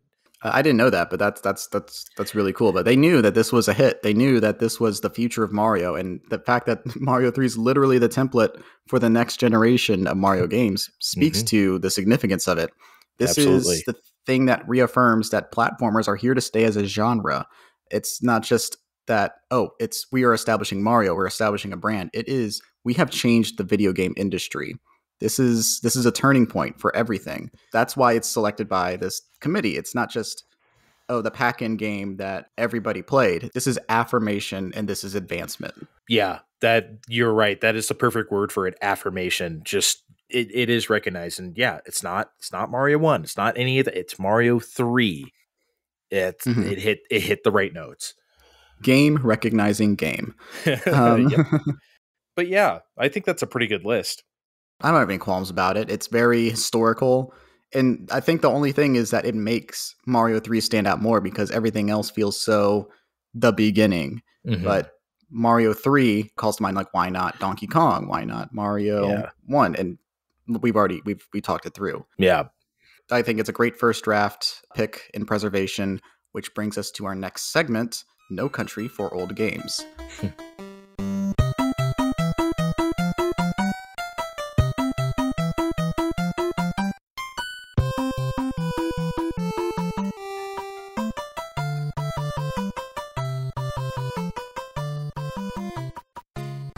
So, in earlier episodes, I'd wait until the end to do this, but since the Earthbound episode moving forward with our buddy Jared, I'm trying something new and putting it towards the middle of the show. And before we talk about what Mario 3 means to you specifically, Dre, we Mhm. got to talk about the best ways to play it and how to play it. For people unfamiliar with the show's format, game preservation means a great deal to me, and I consider video games an art form. And as such, they're worthy of preservation. The Library of Congress believes that. Mario 3 in particular is an excellent game, but its value is also cultural and artistic. Mhm. Its release altered the medium, and it represents the propulsion of Mario as a mainstream figure across all media, not just video games.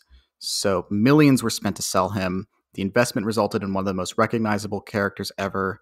Today, we will rate this game's availability to players on a scale of A to ARG. and ARG obviously. I'm, I'm I'm I'm frustrated that games are hard to play. It has nothing to do with piracy. What are you talking about? yada yada yada. You know Yeah. what I'm. You know you know you know Mhm. the gimmick. Yeah. Yep. But before we talk about how well this game is being preserved by the company that developed it, I have to ask you, Dre, when it's time to replay Mario 3 again, how do you play it? Nowadays, the perfect place is Nintendo Switch Online, isn't it?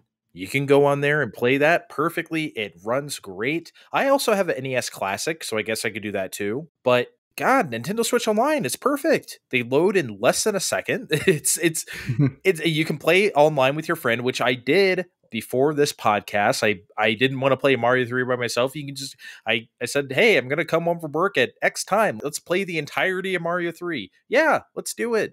And we played the All-Stars version too, which you can also do on Nintendo Switch Online. Right. So like we did both and I hadn't played the I hadn't played Super Mario All-Stars since it came out. So that Right. was a trip for me to play that version again because to me default is like NES just what I had, right? So Mhm. I also find that interesting just as an aside that the Mario 3 throughout history whether it's All-Stars, whether it's Super Mario Advance, you know, whether it's Wii Virtual Console, everyone might have their particular thing. And I think that's so interesting. It could be the Mario's All Star disc for Wii, for all I know, is how someone first played Mario 3, right? Like, Yeah.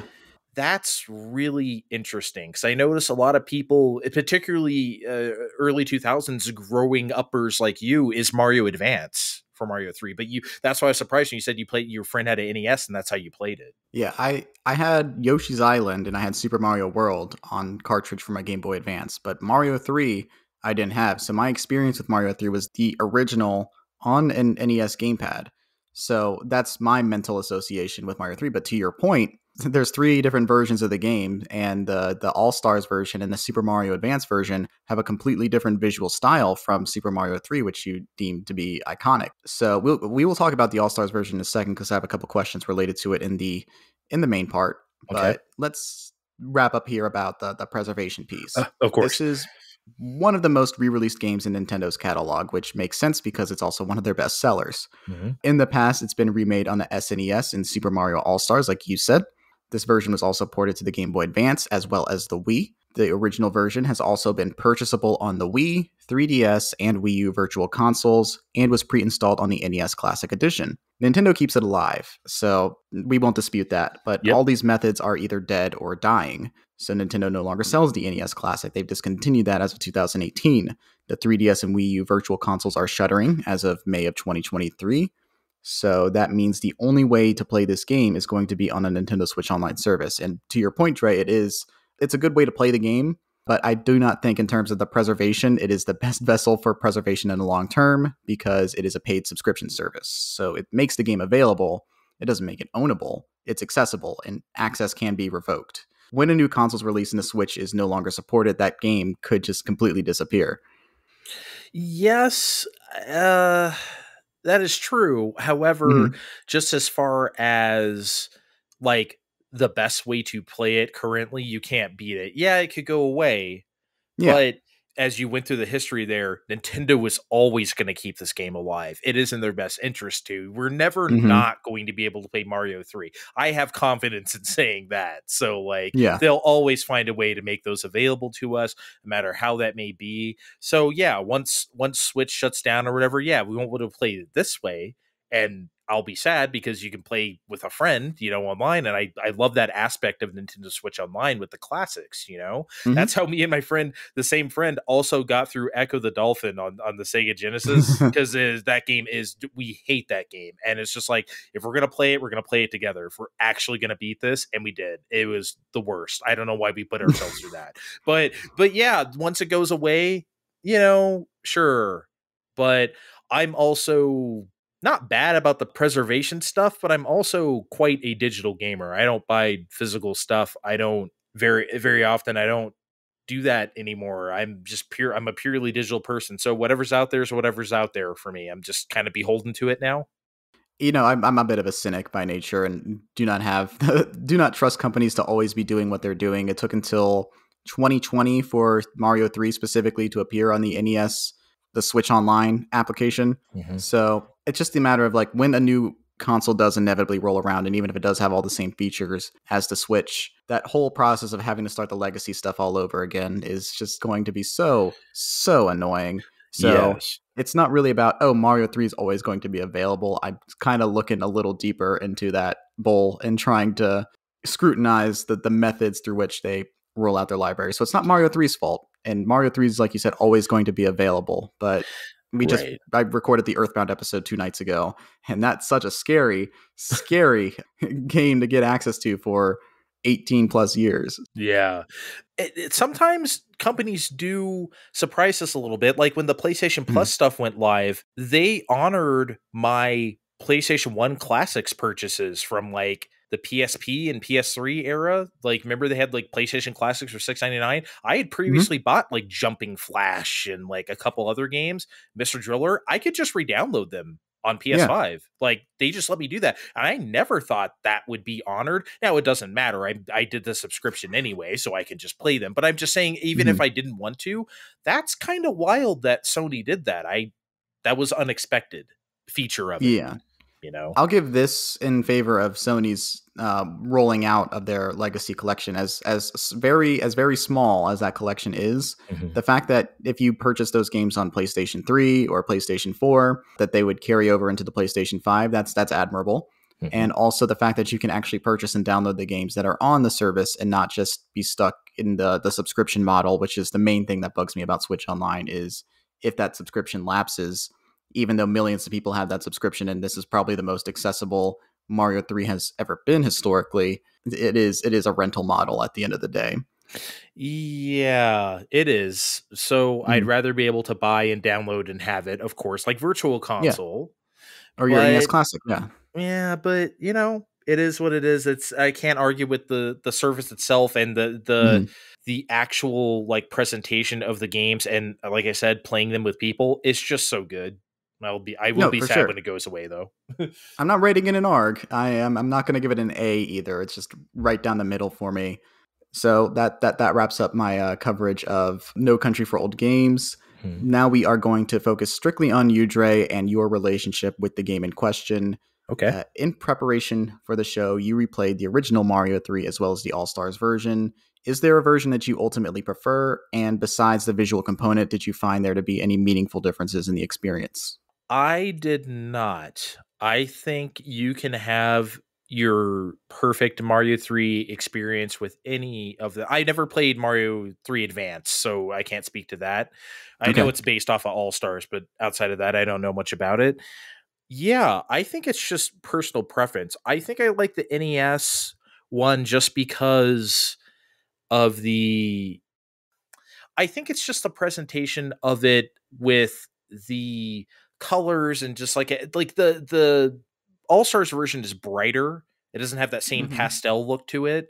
I know we are trying to go outside of visuals, but just just real quickly, Yeah. like yeah. and, and like that's really appealing to me. But honestly, I think that's all I got because outside, I guess you can save in the All Stars version. You could save to battery backup. That doesn't matter anymore with the way we play Yeah. games digitally. But that was a feature back then that would matter. But Mhm. other than that, no, I think you can have your. I, again, it might come down to do you like Koji Kondo's compositions on the NES chip or the Super Nintendo SPC 700, right? Honestly, that's it. I don't think there's any other way to look at them. They're the same. All these are pretty good. What what is this segment?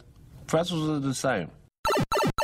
I just wanted to know because some people are purists, but ultimately, I don't think the distinctions are are that meaningful. I mean, the visual thing is really just ultimately what's going to come down to. I prefer the the original NES Mario Three style. It feels a lot more considered.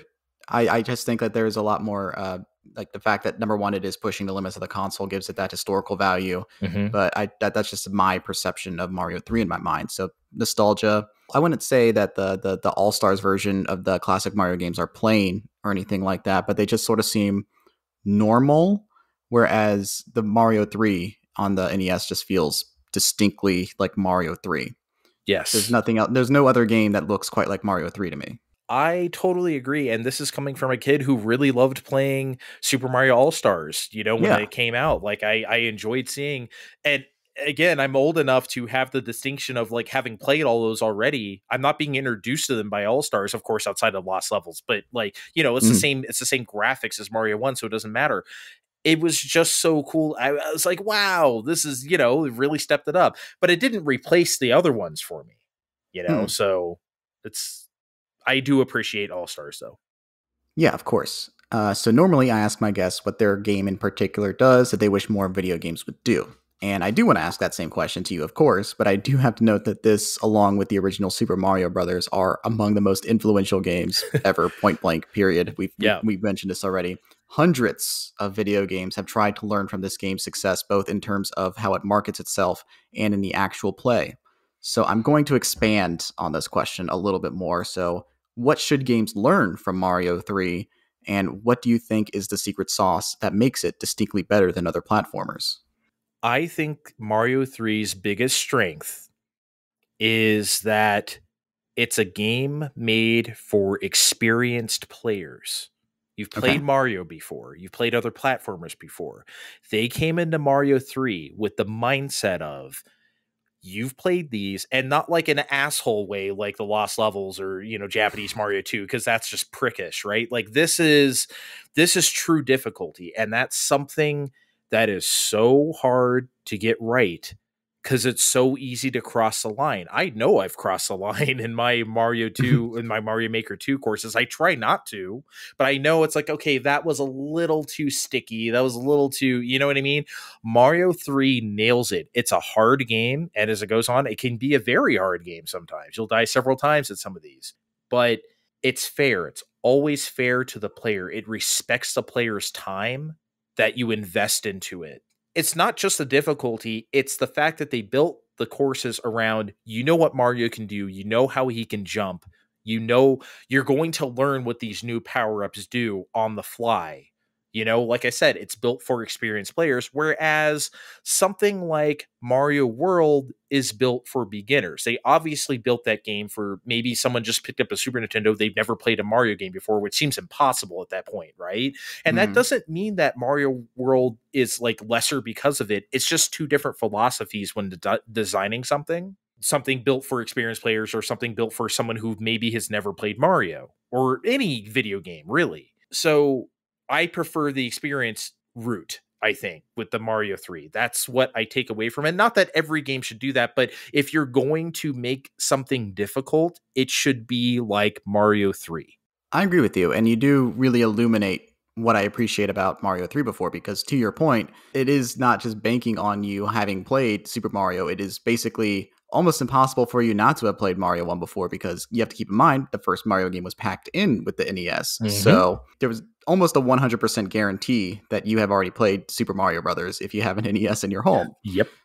And with Mario World, it is a back to basics beginning because we have to make a new console. This is a new beginning, a new generation. Obviously, we're going to make a good game first and foremost, but we also have to onboard new people onto a new system who perhaps did not have the original NES. So it ties back into what we were saying about how this is the end of the NES. This is kind of like the final exam of Mario for that particular console generation before you go and move on to the new course. And it does that really well. And I, I agree with you there. I think when I was a kid, I I was sort of wowed by the look of it because like Mario, Super Mario World is very striking visually too. It obviously has its own thing going on. It's not just Mario Three again.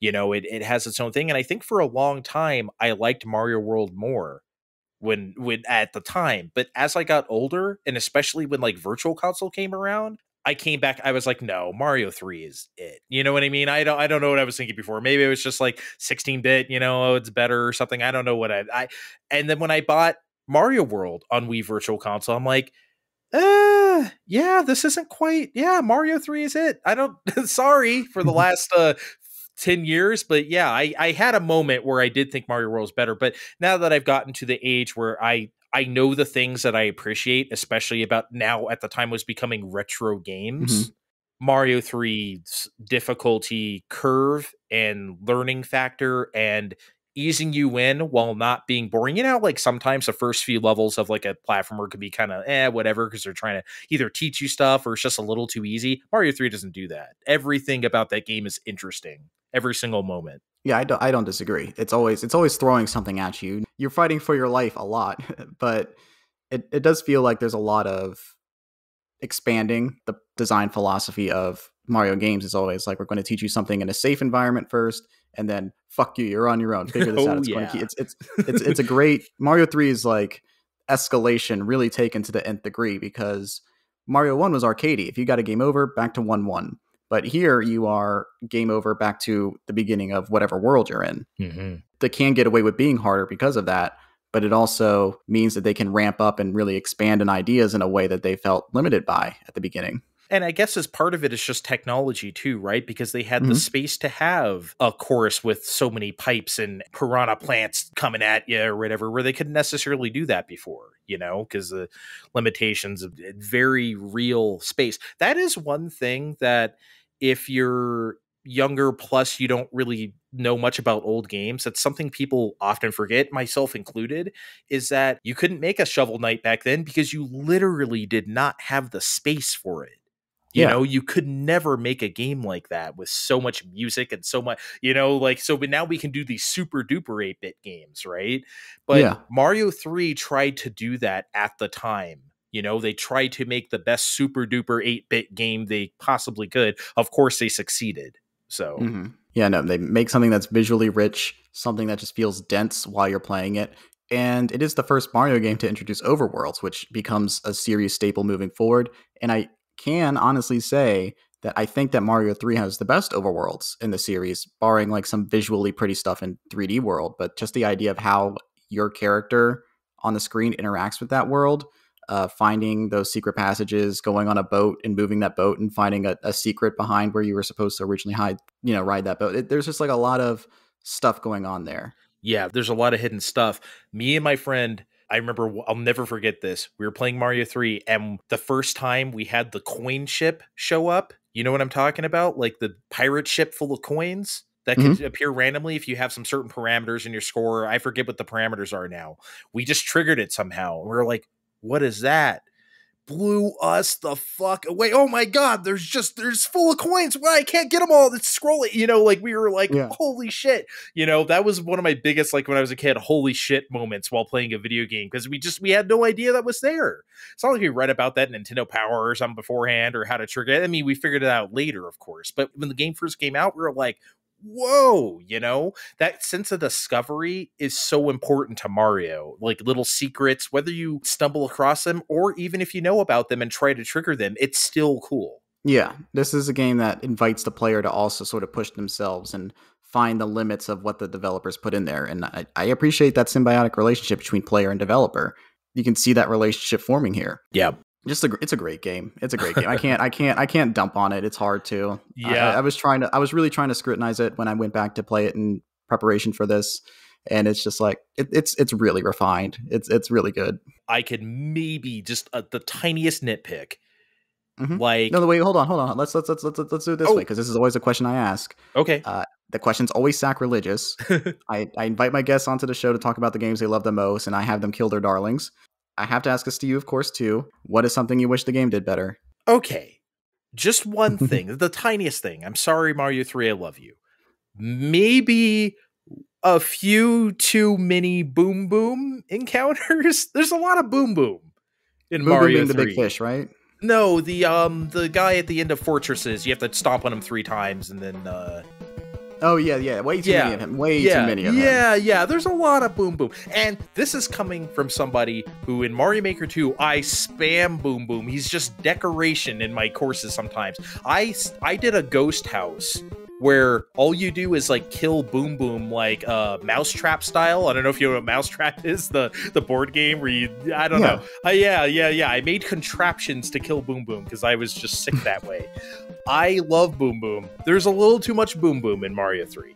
Boom Boom's my buddy, but there, there's way too many of him. It's again, it's a limitation. They can't develop at so many unique enemies, but you're just like, all right, it's a mid castle. Here comes fucking Boom Boom, and Yep. And once you find the rhythm for him, he doesn't ever really get truly harder. They try and mix it up with the level design in the room and him mm-hmm. getting wings later on. But if you know the pattern, you're you're set. You never have to question it because it's jump. Wait a second, jump. Wait a second. It's, it's every single time, no matter Yeah. what. I, I remember the first time. I don't remember the first time I saw the wings, but it freaked the fuck out of me. I was like, "Oh my god, he's flying! He's flying!" You know what I mean? I just I had no idea that was going to happen. But yeah, even if he, even if it's one of the boom booms that have wings, you can just stomp him out before he can even have a chance. So yeah, just a little too much boom boom. Because the game does a good job teaching you the pattern of boom boom, and then like after that, the problem is like you know and you know what to do. Yeah. I'm honestly trying to think of another flaw here, and I I cannot. I really cannot. It so I mean, this is a nitpick if I can offer one, and it's just the number of rising water levels that come up throughout the game. It is a little too much for me because the big. eh, this is a personal taste thing. It's like it's something that actually started from Jak and Daxter. Big fish freak me out in video games, and the the big Cheep Cheep is just like it, it- it's it's it's too much. Me too, buddy. I hate that stuff. I I actually don't like fish in real life. Like stuff in the sea really freak me out. So Mhm. like in a video game form where it can like eat you, no thanks, man. Even just like the bloop, you know the bloopers who like charge up the little bloopers behind him and then send them out in a wave pattern or whatever. Even those I don't. Ugh, get away from me. Disgusting. But yeah, that the the rising water up and down. At least it's only a few levels, but sure. Yeah, and he just gulp. Even if you're wearing a frog suit, that thing doesn't care about you. It'll just eat you. Mhm. yeah, no, it, it's pretty instant. If you get into the water in those levels, you you you are basically guaranteed to be eaten by the big Cheep Cheep. Uh, but again, personal nitpick based on like a personal like getting eaten by the big fish and Jak and Daxter a lot. That that sort of created that. That again, that's really nitpicking because there's so much that I love about this game that's introduced in the franchise from here. My favorite thing in any Mario game, of course, being sliding down a hill and just knocking people the fuck out. Yep. You know Yeah. what's great also about the level design is that they made sure you couldn't just spam the leaf and just fly wherever you want. There you had to have a runway, right? And to Yeah. design all the levels to make sure that you just can't do that wherever you damn well please is kind of ingenious, really. Yeah. They definitely like give you levels where you're able to do that so you can get the power realization to do so, but it's not commonplace. You're always going to have to be jumping pretty quickly or avoiding something or Mhm. ducking. Uh, which brings me to the next question that I had for you is what is your favorite power up in this game? Ooh. I gotta go Hammer Brothers suit. It's kind of a rare one, right? But Yeah, it's very rare. yeah, I've always loved that thing. And it's just so it's so good. I actually when I played the game on the All-Stars version in preparation for this, I actually beat Bowser with the Hammer Brothers shoot. I didn't know you could do that. Hmm. I mean, think about it. This game is over 30 years old. I discovered something I didn't know before. I played it a million times. I had no idea you could kill him that way. So like I just thought you always had to like let him fall into the, the lava or the pit below by breaking the bricks. But no, I killed him with that. Have you ever tried that? Like I, I swear I didn't know that. So No, I mean like I've not. This is probably the Mario game that I've beaten the least, just because I I, I played World way too much. uh-huh. I was one of those guys, those booger eating Mario World players. Uh, but no, I didn't know. I mean, I know that in a lot of the Mario games, the fireballs will do it, but Mhm. it's, cool that the Hammer Brothers suit can do it because again, they they really have to use every single uh, line of code that they can to make this game work. And Mhm. the fact that they also put a contingency in there, if you have the Hammer Brothers suit, it, it it'll work. Yeah, go go Yeah. go for it. I wanted to save Peach in the Hammer Brothers suit, but it's just regular old Super Mario when you go in the door. Oh no, but At least you figured something out about the game. That's Yeah. that's cool. Which Uh, brings me to another point, which is like how cool the inventory system is in Mario 3 and how more of the Mario games should have used that. Making an inventory management system in Mario, cool. That was revolutionary. Like I don't use that term that often, but I I really mean it. That was absolutely revolutionary for a Mhm. platformer to have that. That was crazy. I mean, even Mario World didn't do that, right? Because they wanted to simplify the thing, you know, for for beginners, not worry about this menu that you got to dig through. It's so useful too. Like, yeah, I don't use every item in the book for every run or whatever, but like you use them often and you get so many of them often, so you're incentivized. I don't know if you're one of those gamers where it's like, well, I got to save all my elixirs for the last boss or something in a, in a Final Fantasy or whatever. Sorry if you are, I didn't mean to call you out, but Mhm. but yeah, it incent Mario Three incentivizes you to use that stuff instead of saving it, which is great because the game's so hard. You got to use that stuff. yeah, you have to use it, and you have a very, very limited amount of space to use it. You only have but so much space, and you're going to run into those bonus rooms a bunch. And it's kind of a, and once you're out of the world, you're out of the world. You're moving on. You're you're not you're, you can't just save them for later for, Mhm. for too long. The cool thing is like they have a good balance of things that you can use in the overworld to benefit you, things that you can use in the level itself. So you have like the Lakitu cloud in the overworld. If you want to skip over something, they have the the music box to put the Hammer Brothers to sleep. If which I definitely use this playthrough because there's that one area in I think World Four or something where there's just like three of them were surrounding me, and I felt like God. Like I finally Yeah. Feel like I was mastering the game this time playing. Once it. you get near the castle, there's like a there's a bunch, and I'm like, no, that's that's enough. I I, Mm-hmm. Cannot fight another. Um, I forget what the big Hammer brothers are called, the big boys. I always just call them big boys. I forget what their actual name is, but yeah. the big boys, yeah. Yep. But like that, that's a great world too. The giant world or whatever it's called. Mm-hmm. They don't do that enough in the Mario series, and the three does it, and it's awesome.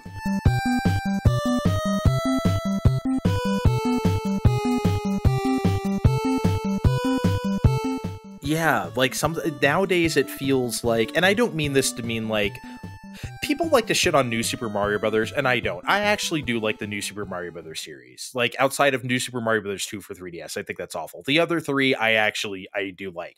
But there was that one in New Super Mario Brothers U where it looked like a Van Gogh painting. There was that one stage that looked all crazy. Yeah, And ev- yeah, and everyone was like, "Whoa, this is so cool!" And I'm like, "It's cool, but it sucks that this stands out so much in this game because it's the one visually very interesting thing that they did. You Mhm. know, so it's kind of like, yeah, it's cool, but it's also like, eh, you know what I mean? like, I mean, I think the really main criticism of the new Super Mario Brothers formula is just how normal it all looks. Like I use that term for All Stars. It, it definitely applies to New Super Mario Brothers. It's novel when you do it on DS because it's like, oh, cool, 3D ish models that you use in the Mario space. It feels modern, and then you do it on Wii, and it's like, oh, cool. They they put a little sheen and polish on it, but then you like it just keeps coming, and mm-hmm. they don't really change the art style or evolve it, and that's when the fatigue sets in. Yeah, at least New Super Mario Bros. U had a different overworld theme instead of the other ones, even though it was very similar. But yeah, I bring that up just to say that like Mario 3 at every turn, they tried to visually pop something at you the best they Mhm. can. That's one thing actually about the difference between the original and All Stars is that in World 8, when you start getting to the like the quote unquote regular levels on the map instead of just like the tanks or whatever, there's Mhm. that one level on NES. It's like I think it's like 8 2, the ones where you could sink into the sand it's all like ghosty and white. It's like black and white. It's so striking and weird and kind of spooky. On All Star, so it's like colored in. The sand is, you know, brown or, you know, like it doesn't look the same. You know what I mean? It doesn't give you that vibe. Like, oh, that's uh, uh, that goes Yeah. to your point about Mario 3 just being really special in NES because they really tried to make everything look as unique as they could with six megabytes or whatever they had, right? Yeah, I mean, this is something that I've noticed a lot with uh, games that get like visual remakes in any kind of way is that the limitations serve the style. And when you go and upgrade that, that kind of charm and deliberate choice kind of goes away. And this is especially true when you're like upgrading something from like the Nintendo 64, PlayStation 1 generation upwards. So, like, there's a lot of scary stuff in the Ocarina of Time Majora's Mask originals that kind of lose something when it's not as polygonal and weird and abstract when you will play them on the 3DS remakes. And I, Yes. I, I still, like I said, Majora's Mask is my favorite game, and I just think the the the remake loses a lot of the stuff, and I do think that visual upgrade is a big part of that. yeah, like in Mario 64, like diving down in Dire Dire Docks, the big eel. That's so Mm-hmm. freaky to me because one, I hate stuff in the sea, as I said, but like, and it's huge and it looks kind of polygonal and jank, right? That's part of the scariness because it looks The like Uncanny that. Valley, yeah. Yeah, it's weird. Oh, I'm very, I'm very uncanny valley sensitive, honestly. So like that, that is part of it too. So yeah, it just it freaks you out. But if they did like a Mario 64 remake, it'll just look like a big eel that's realistic, which is great. But it also won't like it won't hit the same way. I mean, so Mario Odyssey, they have those giant eels in one of the beach levels, I think, Mm. and it doesn't it doesn't do anything to me the same way because it's not this massive. I mean, it's still a massive eel, but the idea that this is like scary and flat faced and just triangular that that lends itself to the spookiness. So yeah, Absolutely. the point being like that the striking imagery of the the limited NES palette versus something looking clean in the SNES, I, I 100% empathize with it. Yeah. I didn't I never used to understand that stuff. Um typically I'm like, ah, whatever, you know, but like as I I don't know, in my old age I've gotten grumpier or something, but like cuz now I look at that stuff and I totally agree. We're seeing it now in movies too because the CGIification of things that we once understood as practical effects, whether it's like seeing Spider Man's visual style change and evolve to be more CGI and less Mhm. practical or anything like that, it's just like the cleanliness and sheen and polish is kind of just dehumanizes and removes something from it. No, I agree. Like one of my real quick, one of my favorite movies is Mhm. Total Recall, and that's like at the very beginning of like them starting to use CG. There's that scene where he's walking through the airport and they show a skeleton like walking through Yeah. because they're doing the X-ray. That's actually CG. It's the only CG in the whole movie, Mhm. and it's so striking because it's like, whoa, how did they do that? Now I know how they did that. But Yeah. you know, back then they might uh, even before CG, they would have to probably do some weird stop motion thing, you know, like they did in like RoboCop 2 or I don't know, which was also 1990, so it was weird. But like, I don't know, yeah, th- those effects now, it just you're right, practical plus CG. It's just I don't know. Oh, difficulty. We've talked about the difficulty this a little bit. You call this an experienced person's Mario game. Mhm. It's banking on the fact that it is not the first Mario game you've played. It is Mario 3 after all. In the franchise's overall difficulty on the, we'll just call them the mainline Mario games, where would you rank this difficulty wise? And what would you say is harder than it otherwise? I think this might be the top. I'm Mhm. trying to think of something that may be harder. I I try not to count Lost Levels slash Japanese Mario 2 just because it's so out of control. That's- that that's- just that's its own thing. the That's its line. own yeah, thing. yeah. It's so trolly and weird.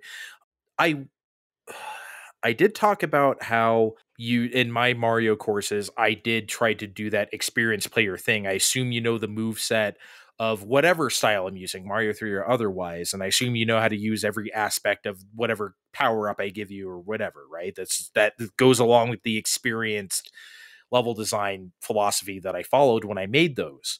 But Mhm. I don't know if you want to count this, but like remember they did like a Luigi version of New Super Mario Brothers U? I forget. I don't know if the name is as simple as like New Super Luigi U, maybe or something like that. I think that's that is it. Yeah. yeah. I It's actually included on the Switch version. Yeah. Yes, I that's a version I have.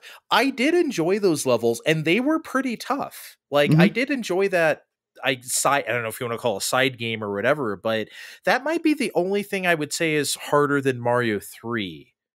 I don't think anything else gets up there. Like do you agree? Like I don't I uh, So I think there's a lot of check for mastery stuff in Super Mario 64 specifically, and Sunshine obviously has. I would more categorize it as bullshit stages, but I mean, like I think if you're really getting down to it, I do think it, if you're looking at the side-scrolling stuff, I do think three is the hardest. Mario 64 is tough if you want to get all the stars. You, it is tough. Yes. It is not easy, especially if you want to get 100 coins on Tick Tock Clock or something. Oh my Yeah. god, right? It's, there's there's it's definitely a lot of mastery level stuff. There's the Mhm. there's the stuff that's like you can only get uh, all the stars if you're great at it, but you can beat the game and only be okay at it. Mhm. Yeah, so three, it- you're kind of you're three is linear. You have to be good at it. yeah, you can't P wing everything. That's another thing they accounted for. It's like we're gonna give you the P wing, but some of these things are gonna have ceilings and blocks where you're you're not gonna be able to do that, right? So you, you can't just fly over everything if you want to. So they accounted for it. There's the underwater levels too and the, the the the dungeon underground stuff too so there's there's never a power up that can easily get you through every situation Yeah. The P Wing is a blessing though. If you really don't feel like doing something, I will P Wing quite a few like of the tank levels in World 8 cuz I'm like, you know what? I just I can't I don't want to today. yeah no i think that i think we can call this one the more difficult one yeah, I think so. Again like it, we're, we're not talking about Lost Levels because that's that's specifically designed to be hard but Yeah. yeah i mean like this is the point you know nintendo hard being the name of the the trope or whatever you want to call it where to account for the fact that these games were shorter they had to make them harder you can't advance if you aren't good at it but you also don't get kicked all the way back at the beginning like you're playing mario 1 If something was easy though back then, that was kind of considered often a detriment because you did want to master something. That was the Yeah. way it was it, that's the way it was, you know? And that's why like Super Mario 3 while not being I don't know, Blaster Master or something that you really have to nail down and like either memorize or just really get super, super good at. It does hit that perfect difficulty where it's like, oh, you don't have to be like super blistering hard, but you know, this is this is it, Mario 3.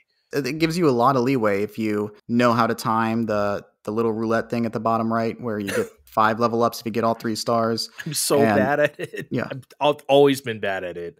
I get a great groove at it because uh, the trick is like you just get the running out of the pipe, and if you get like a out of the pipe run jump, you'll always get the star every time as long as you just like immediately out of the pipe run. I got like three of them in a row, and I'm like that has never happened before. But like I said, I think I finally started to truly understand this game this this Yeah. go around. I did discover that and I do get it sometimes, but just sometimes I I don't know, I mess it up or I just like I have the frog suit on so you can't get the momentum or I don't know, like something always seems to happen to me where it eludes me. I did get one uh big fireworks star though the other day when I was playing on All Stars. I was proud of myself. Oh yeah, Are you good at the um the sliding puzzle where you have to line up the mushroom flower star? Because I'm bad at that too. I I no, I I'll, I'll get it. I'll get it once, and then I think, oh, I figured it out. I mastered it, and then like next time I'll fucking fail. so no, I can never get the star, man. Sometimes I can get the flower and I'm like super proud of myself.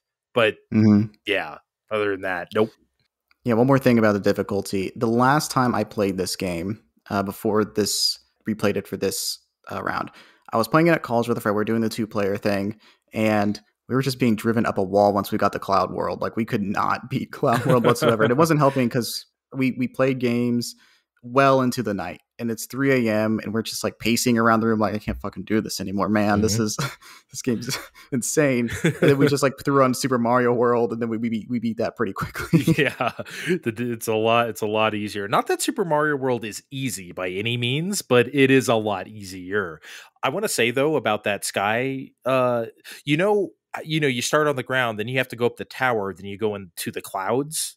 You Mhm. know, that tower is one of my favorite, like thematically placed things, like in a video game, probably ever. Especially since like it doesn't work like another fortress or anything. It has a fortress music and it kind of plays like one, but it looks so cool. You're in a castle of bricks. Mhm. You're going up to you're going up and up. You realize that. You take that Mhm. final beanstalk up to the last pipe, and then it's over. Then you're in the sky. You're in the clouds. And it's like, whoa. You know, and I, I remember doing that for even when I did it just now last week, it still had that effect on me. Like, this is so fucking cool. Like, I it's one of my favorite things in a game, period. No, it's great. I love it. I like you. You said it so beautifully. I don't have it. I don't have anything to add there. And again, like, you. like the only thing is the only thing I can say is like you know it's they did this on the NES cartridge. just so impressive.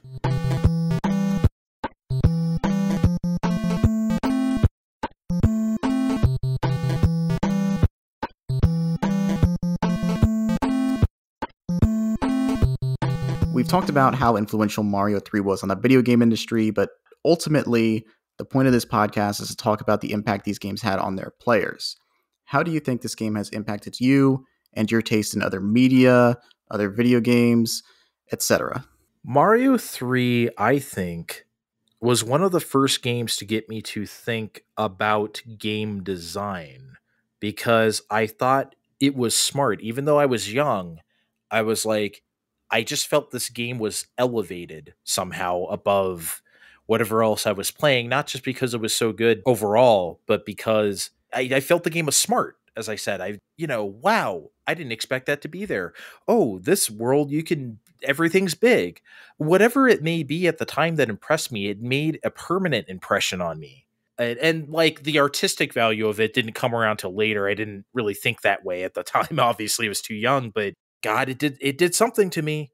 I'll tell you what, I think that's what I take away the most, just the artistic and just the elevation of it. I felt like it was just smarter than everybody else on the NES that game, that Mario 3.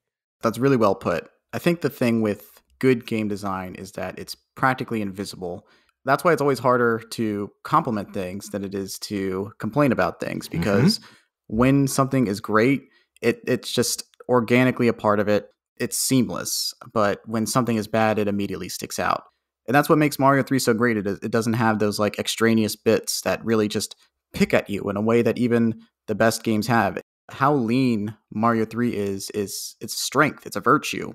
Mhm. There's not too much of it for it to become overbearing and it's not too long so it doesn't become cumbersome or overwhelming at any point. Like it, it definitely becomes difficult, it definitely becomes challenging, but it never becomes insurmountable.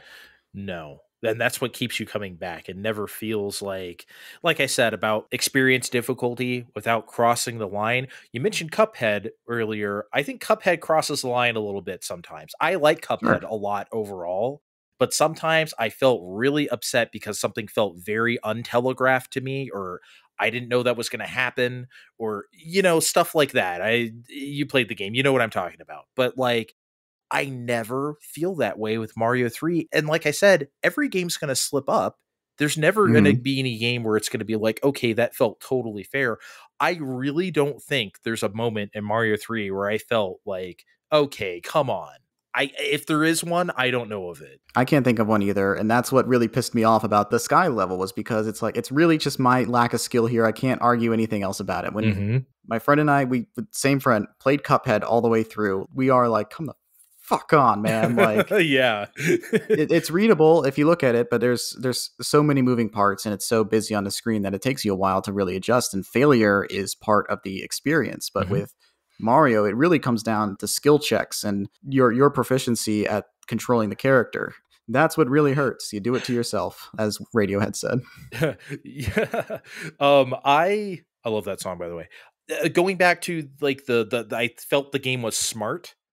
Is that just is just one example of many things in the game, but in World Six, the Ice World, Mhm. there's a you know sometimes in the game they'll let you choose. Okay, do you want to go to level three or four? Do you want to go to five or six or whatever? There's one Yeah. part in the ice thing where I think it's level six, six six. You have to have a leaf and you have to grab a Koopa Troopa in its shell and you have to fly up to the ceiling and use it to break some bricks all in like one go before the Koopa Troopa wakes up and you lose your leaf or whatever. Mhm. It's really tough to do. And your reward for that is getting a Toad House and you can go on your merry way. You don't have to do that at all. You can do the other one, level five, and just play a de- totally different level. But like you said, a skill check for those who want it, but it's optional. That was something that was new to me too at the time. Stuff being optional. Everything before that was just completely linear. You play all the levels or whatever, or don't, or you're stuck. This was like, if you get stuck on one of those things, okay, I'll try the other one. That was very new. Yeah, I mean, like you think about what alternate paths meant before and what alternate paths mean after, and it's a completely different thing. There's varying ways of approaching a single level. That those are the advancements. It's not just oh, you're playing a game. You are experiencing something, and you're not playing the same exact game every time necessarily. Not at all. So we've talked about how this game has influenced you and your taste on things. What media would you recommend, whether it's a game, a book, show, movie, or otherwise, to people who like Mario 3, or just something you'd recommend to get a better sense of your taste? That is an excellent question. Okay, I have something. I don't know how much this has to do with Mario 3, but I think it's an example of smart game design and visuals serving it and all of that stuff. It's an indie game from a few years ago. It's called Ape Out. Have you ever heard of this or played Yeah. it? Oh my god. That might be I said Mercenary Kings might be my favorite indie game of all time. This has got to be maybe it one and one A or maybe just number two. Ape Out hits every note literally because it plays like what would you call it procedurally generated as you do the stuff like the jazz music also Mhm. like hits you know you're a gorilla if you don't know what this game is you're just splattering fools all over the place it's super violent and while frantic jazz music plays it is one of the best like audio visual experiences i've ever had in my life that game is incredible and then you have the artistic side where everything actually looks like a jazz record from the 50s like Mhm. they look like album jackets and covers like you're playing the album is like the whole stage concept Mhm. if if you if you've listened to this whole thing and you've heard what i like about level design uh and you want it in you know something of a more modern context play ape out. That game set my brain on fire. I'm glad you know what game i'm talking about because most people look at me like what? But yes.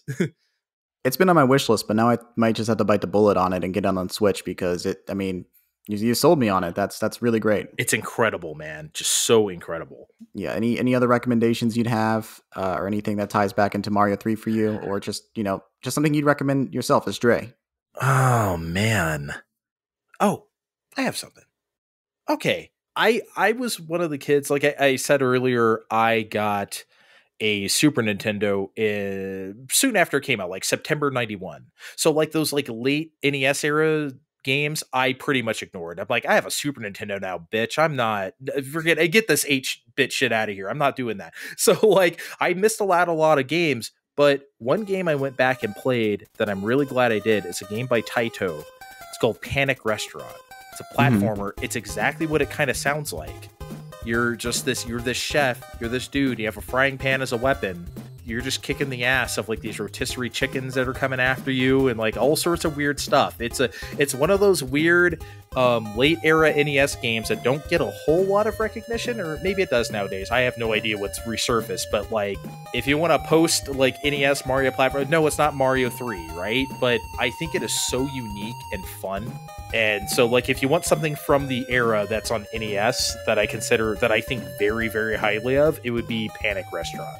Good to know. I, I, appreciate your recommendations. I usually recommend a million things on this podcast. I only come to you today with two. Mario 3 speaks for itself. Its influence is everywhere. It, it's influenced platformers for generations and will continue to do so, whether people are conscious of it or not. I will recommend to you one platformer today, the indie game Celeste. Uh, it is definitely hard. It is definitely challenging, but it is a game that really, really explores that idea of a game being difficult and challenging and integrates it into its story and really makes it a part of the the interactivity. It's so well made. The music is incredible. And the way that it's difficult isn't kind of in the way where it's like, oh, I died at the end of the level, now I have to start all over again. It's like you have to get through this screen everything is one moment at a time. Everything's one screen at a time. You will die countless times. It is inevitable that you will die, but you will not fail. You will not fail as long as you keep trying. And that's what I really admire about this game is that it takes that challenging part of platformers, but it doesn't make it impossible. It makes it feel achievable, and it always makes you keep going, and that really ties into the themes of the game. So I heartily endorse Celeste if you are looking for a platformer game. It's hard to recommend games with Mar- after Mario 3 because it's so much a part of everything. But I do think Celeste really, really engages with the idea of difficulty in video games in a platforming space in a way that is truly great. Yeah, I would co-sign that. I loved Celeste, and I don't usually like games like that, and I I did mm-hmm. like Celeste a lot. A lot of indie games can get tiresome, but this has just the right amount of everything to really make it work. It, again, it's that lean aspect that makes Mario 3 great. It doesn't have too much of anything, it doesn't have too little of something. It, it, it's just right. I agree. Hotline Miami is another game I'd recommend. It's not a platformer by any means whatsoever, but it is another game that really engages the player on a difficulty level, but it also makes you feel compelled to try again because it is short bursts. Uh, it is also like what we were talking about, where an experience isn't the same thing every time. Uh, you can different approaches to the same challenge in Hotline Miami until you get it. It's it's super fun. It's super violent. The music is kick ass. I'd like it's it's worth it just to listen to the music alone. I I much prefer the first game to Hotline Miami 2, which just feels like a little bit too much, which kind of makes Hotline Miami 1 even better because I do think it has that balance that is necessary in these kinds of games. So, yeah, please please play Hotline Miami. Hotline Miami 2 is good too, but Hotline Miami 1 is where it's at. I, I couldn't agree more. I love Hotline Miami. Yeah. That's going to do it for my recommendations. I wanted to keep it simple because this is a simple game, but that is the beauty of it. Let's read some user comments. These were comments that were submitted to me via Twitter after I asked people for their opinions on Super Mario Bros. 3. Chris, aka at Chris Salvin, shared this really sweet story that I wanted to read. My mom loved to watch me play this game and be second when I was around 5 years old. When I was around 13, she wanted to play through with me again. I accepted and proceeded to use the warp whistles to beat the game in a few hours. I didn't realize she just wanted to spend time together. I just wanted to show off my game knowledge. I had no ill intentions. I was oblivious. I still think about this enough where it gnaws at my brain. Sorry about that, Mom. I gotta play through with her again one day. Anyway, it's a great game. Giant Land fucking rocks. I agree, Giant Land is great, but I don't think you disappointed your mom as much as you think you did. She was just trying to have a good time with you, yes, but you at least got to show how much this game meant to you to the point that you were great at it, and I hope that you can at least get some comfort from that. I hope that you get to play with her again soon, though. At Reincarnate, aka Unleashed Bimblar, said it's the best 2D Mario game, just great platforming and level design with some killer tunes. Also, the fact that you can store items to use on specific levels is so cool.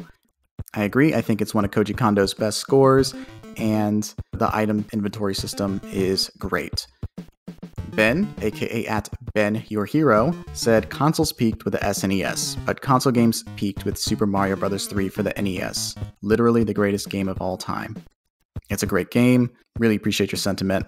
Thank you all for writing in. And that's going to do it today for Select and Start. I really enjoyed this episode, Dre. It was really great talking to you. I was worried about what how much can we talk about Mario 3? It feels so big, but Yeah. also so simple. But we, we really got a lot to talk about with it, and you're really easy to talk to. So I really appreciate you coming on the show. Please talk a little bit about Fine Time and where people can find you after the show. Oh yeah. Well, first of all, thank you. I loved being here and talking Mario 3. And you're right. I'm glad we you know, God, I guess we can talk about Mario 3 forever at this rate. But yeah, I do a podcast called Fine Time with my two friends, Steve and Kevin. The it's it's about video games. Sometimes we might talk movies or music or occasionally, you know what I mean? But it's video games, old stuff, new stuff, basically whatever we're playing at that moment. That's what we want to talk about and we talk about some current events and we play little games too at the end. Like I don't know anything about Pokemon, nothing. So Steve loves to make up Pokemon names and we play Pokemon real or fake. I guess if that's an actual Pokemon or not. We do weird stuff like that. Really the theme of the show is three guys talking shit. So it's just you know it's a it's one of the you know sit around talk shit with your friends uh say what you like what you don't like hot takes whatever you know just let it fly basically. We're loose we're fun. Have a fine time with us. I always feel cheesy saying that. I always i always feel compelled to say something cheesy with fine time but there it is I really like your podcast, genuinely, because I listen to a lot of video game podcasts and a lot of them feel encumbered by their format. Like they have to stick to one lane when talking about something and approaching something, but you guys do not have a dedicated format. You guys put the hobby before you put the the show. And that really, really shows in how you are able to appreciate the medium in a way where you don't have to compromise yourself to do it. And I really admire that. The, the show is really good. The, you guys are a lot of fun to listen to. Like it really feels like I'm just listening to friends riff. And I mean, you are my friend Dre, of course, but like it, it's, just, it's just nice to like hear people talk about games and shoot the shit and have a good time talking about a hobby that they're all really into. And it again speaks to that Mario 3 thing of just not not throwing too many things in the air, just having the right amount of stuff. well thank you very much i'm glad you like the show and i hope anyone who listening who hasn't listened to fine time checks it out and likes it as well And again, you are also Pizza Dinosaur on Twitter. You can follow him there. Mhm. Uh, anything else that you wanted to plug or promote before I do the outro? that's about all i got no i'm P- i'm pizza dinosaur on twitter see me on twitter Uh, this is Dre, aka Pizza Dinosaur. Please listen to Fine Time after you listen to my show, of course. And that is going to do it today for Select and Start. Thank you so much for listening to this episode. Once again, I am your host, editor, and promoter, Keifer. If you enjoyed this episode, please give the show a positive review wherever you're listening to this. Engagement helps the show, and your feedback will improve it. And if you want to get more engaged, give the show a follow on Twitter at SelectPodStart. If you have any thoughts about Mario 3 or any other games we've discussed, send a DM or leave a comment and I will gladly read it on the show. You can support me on Patreon as well. If you pledge at least $1 a month, you will get early access to new episodes as well as extended episodes with exclusive content. You can also follow me on Twitter at Danny Vegito and find links to the rest of my projects in the description of this episode. The art for the show is made by my best friend Avry Ott. You can follow him on social media with the handle at Avry Robin Ott. That's A V R Y Robin O T T. You can check out the links in the description for his work as well as Dre's. All right, I think that's it. Y'all have a great evening and have a fine time.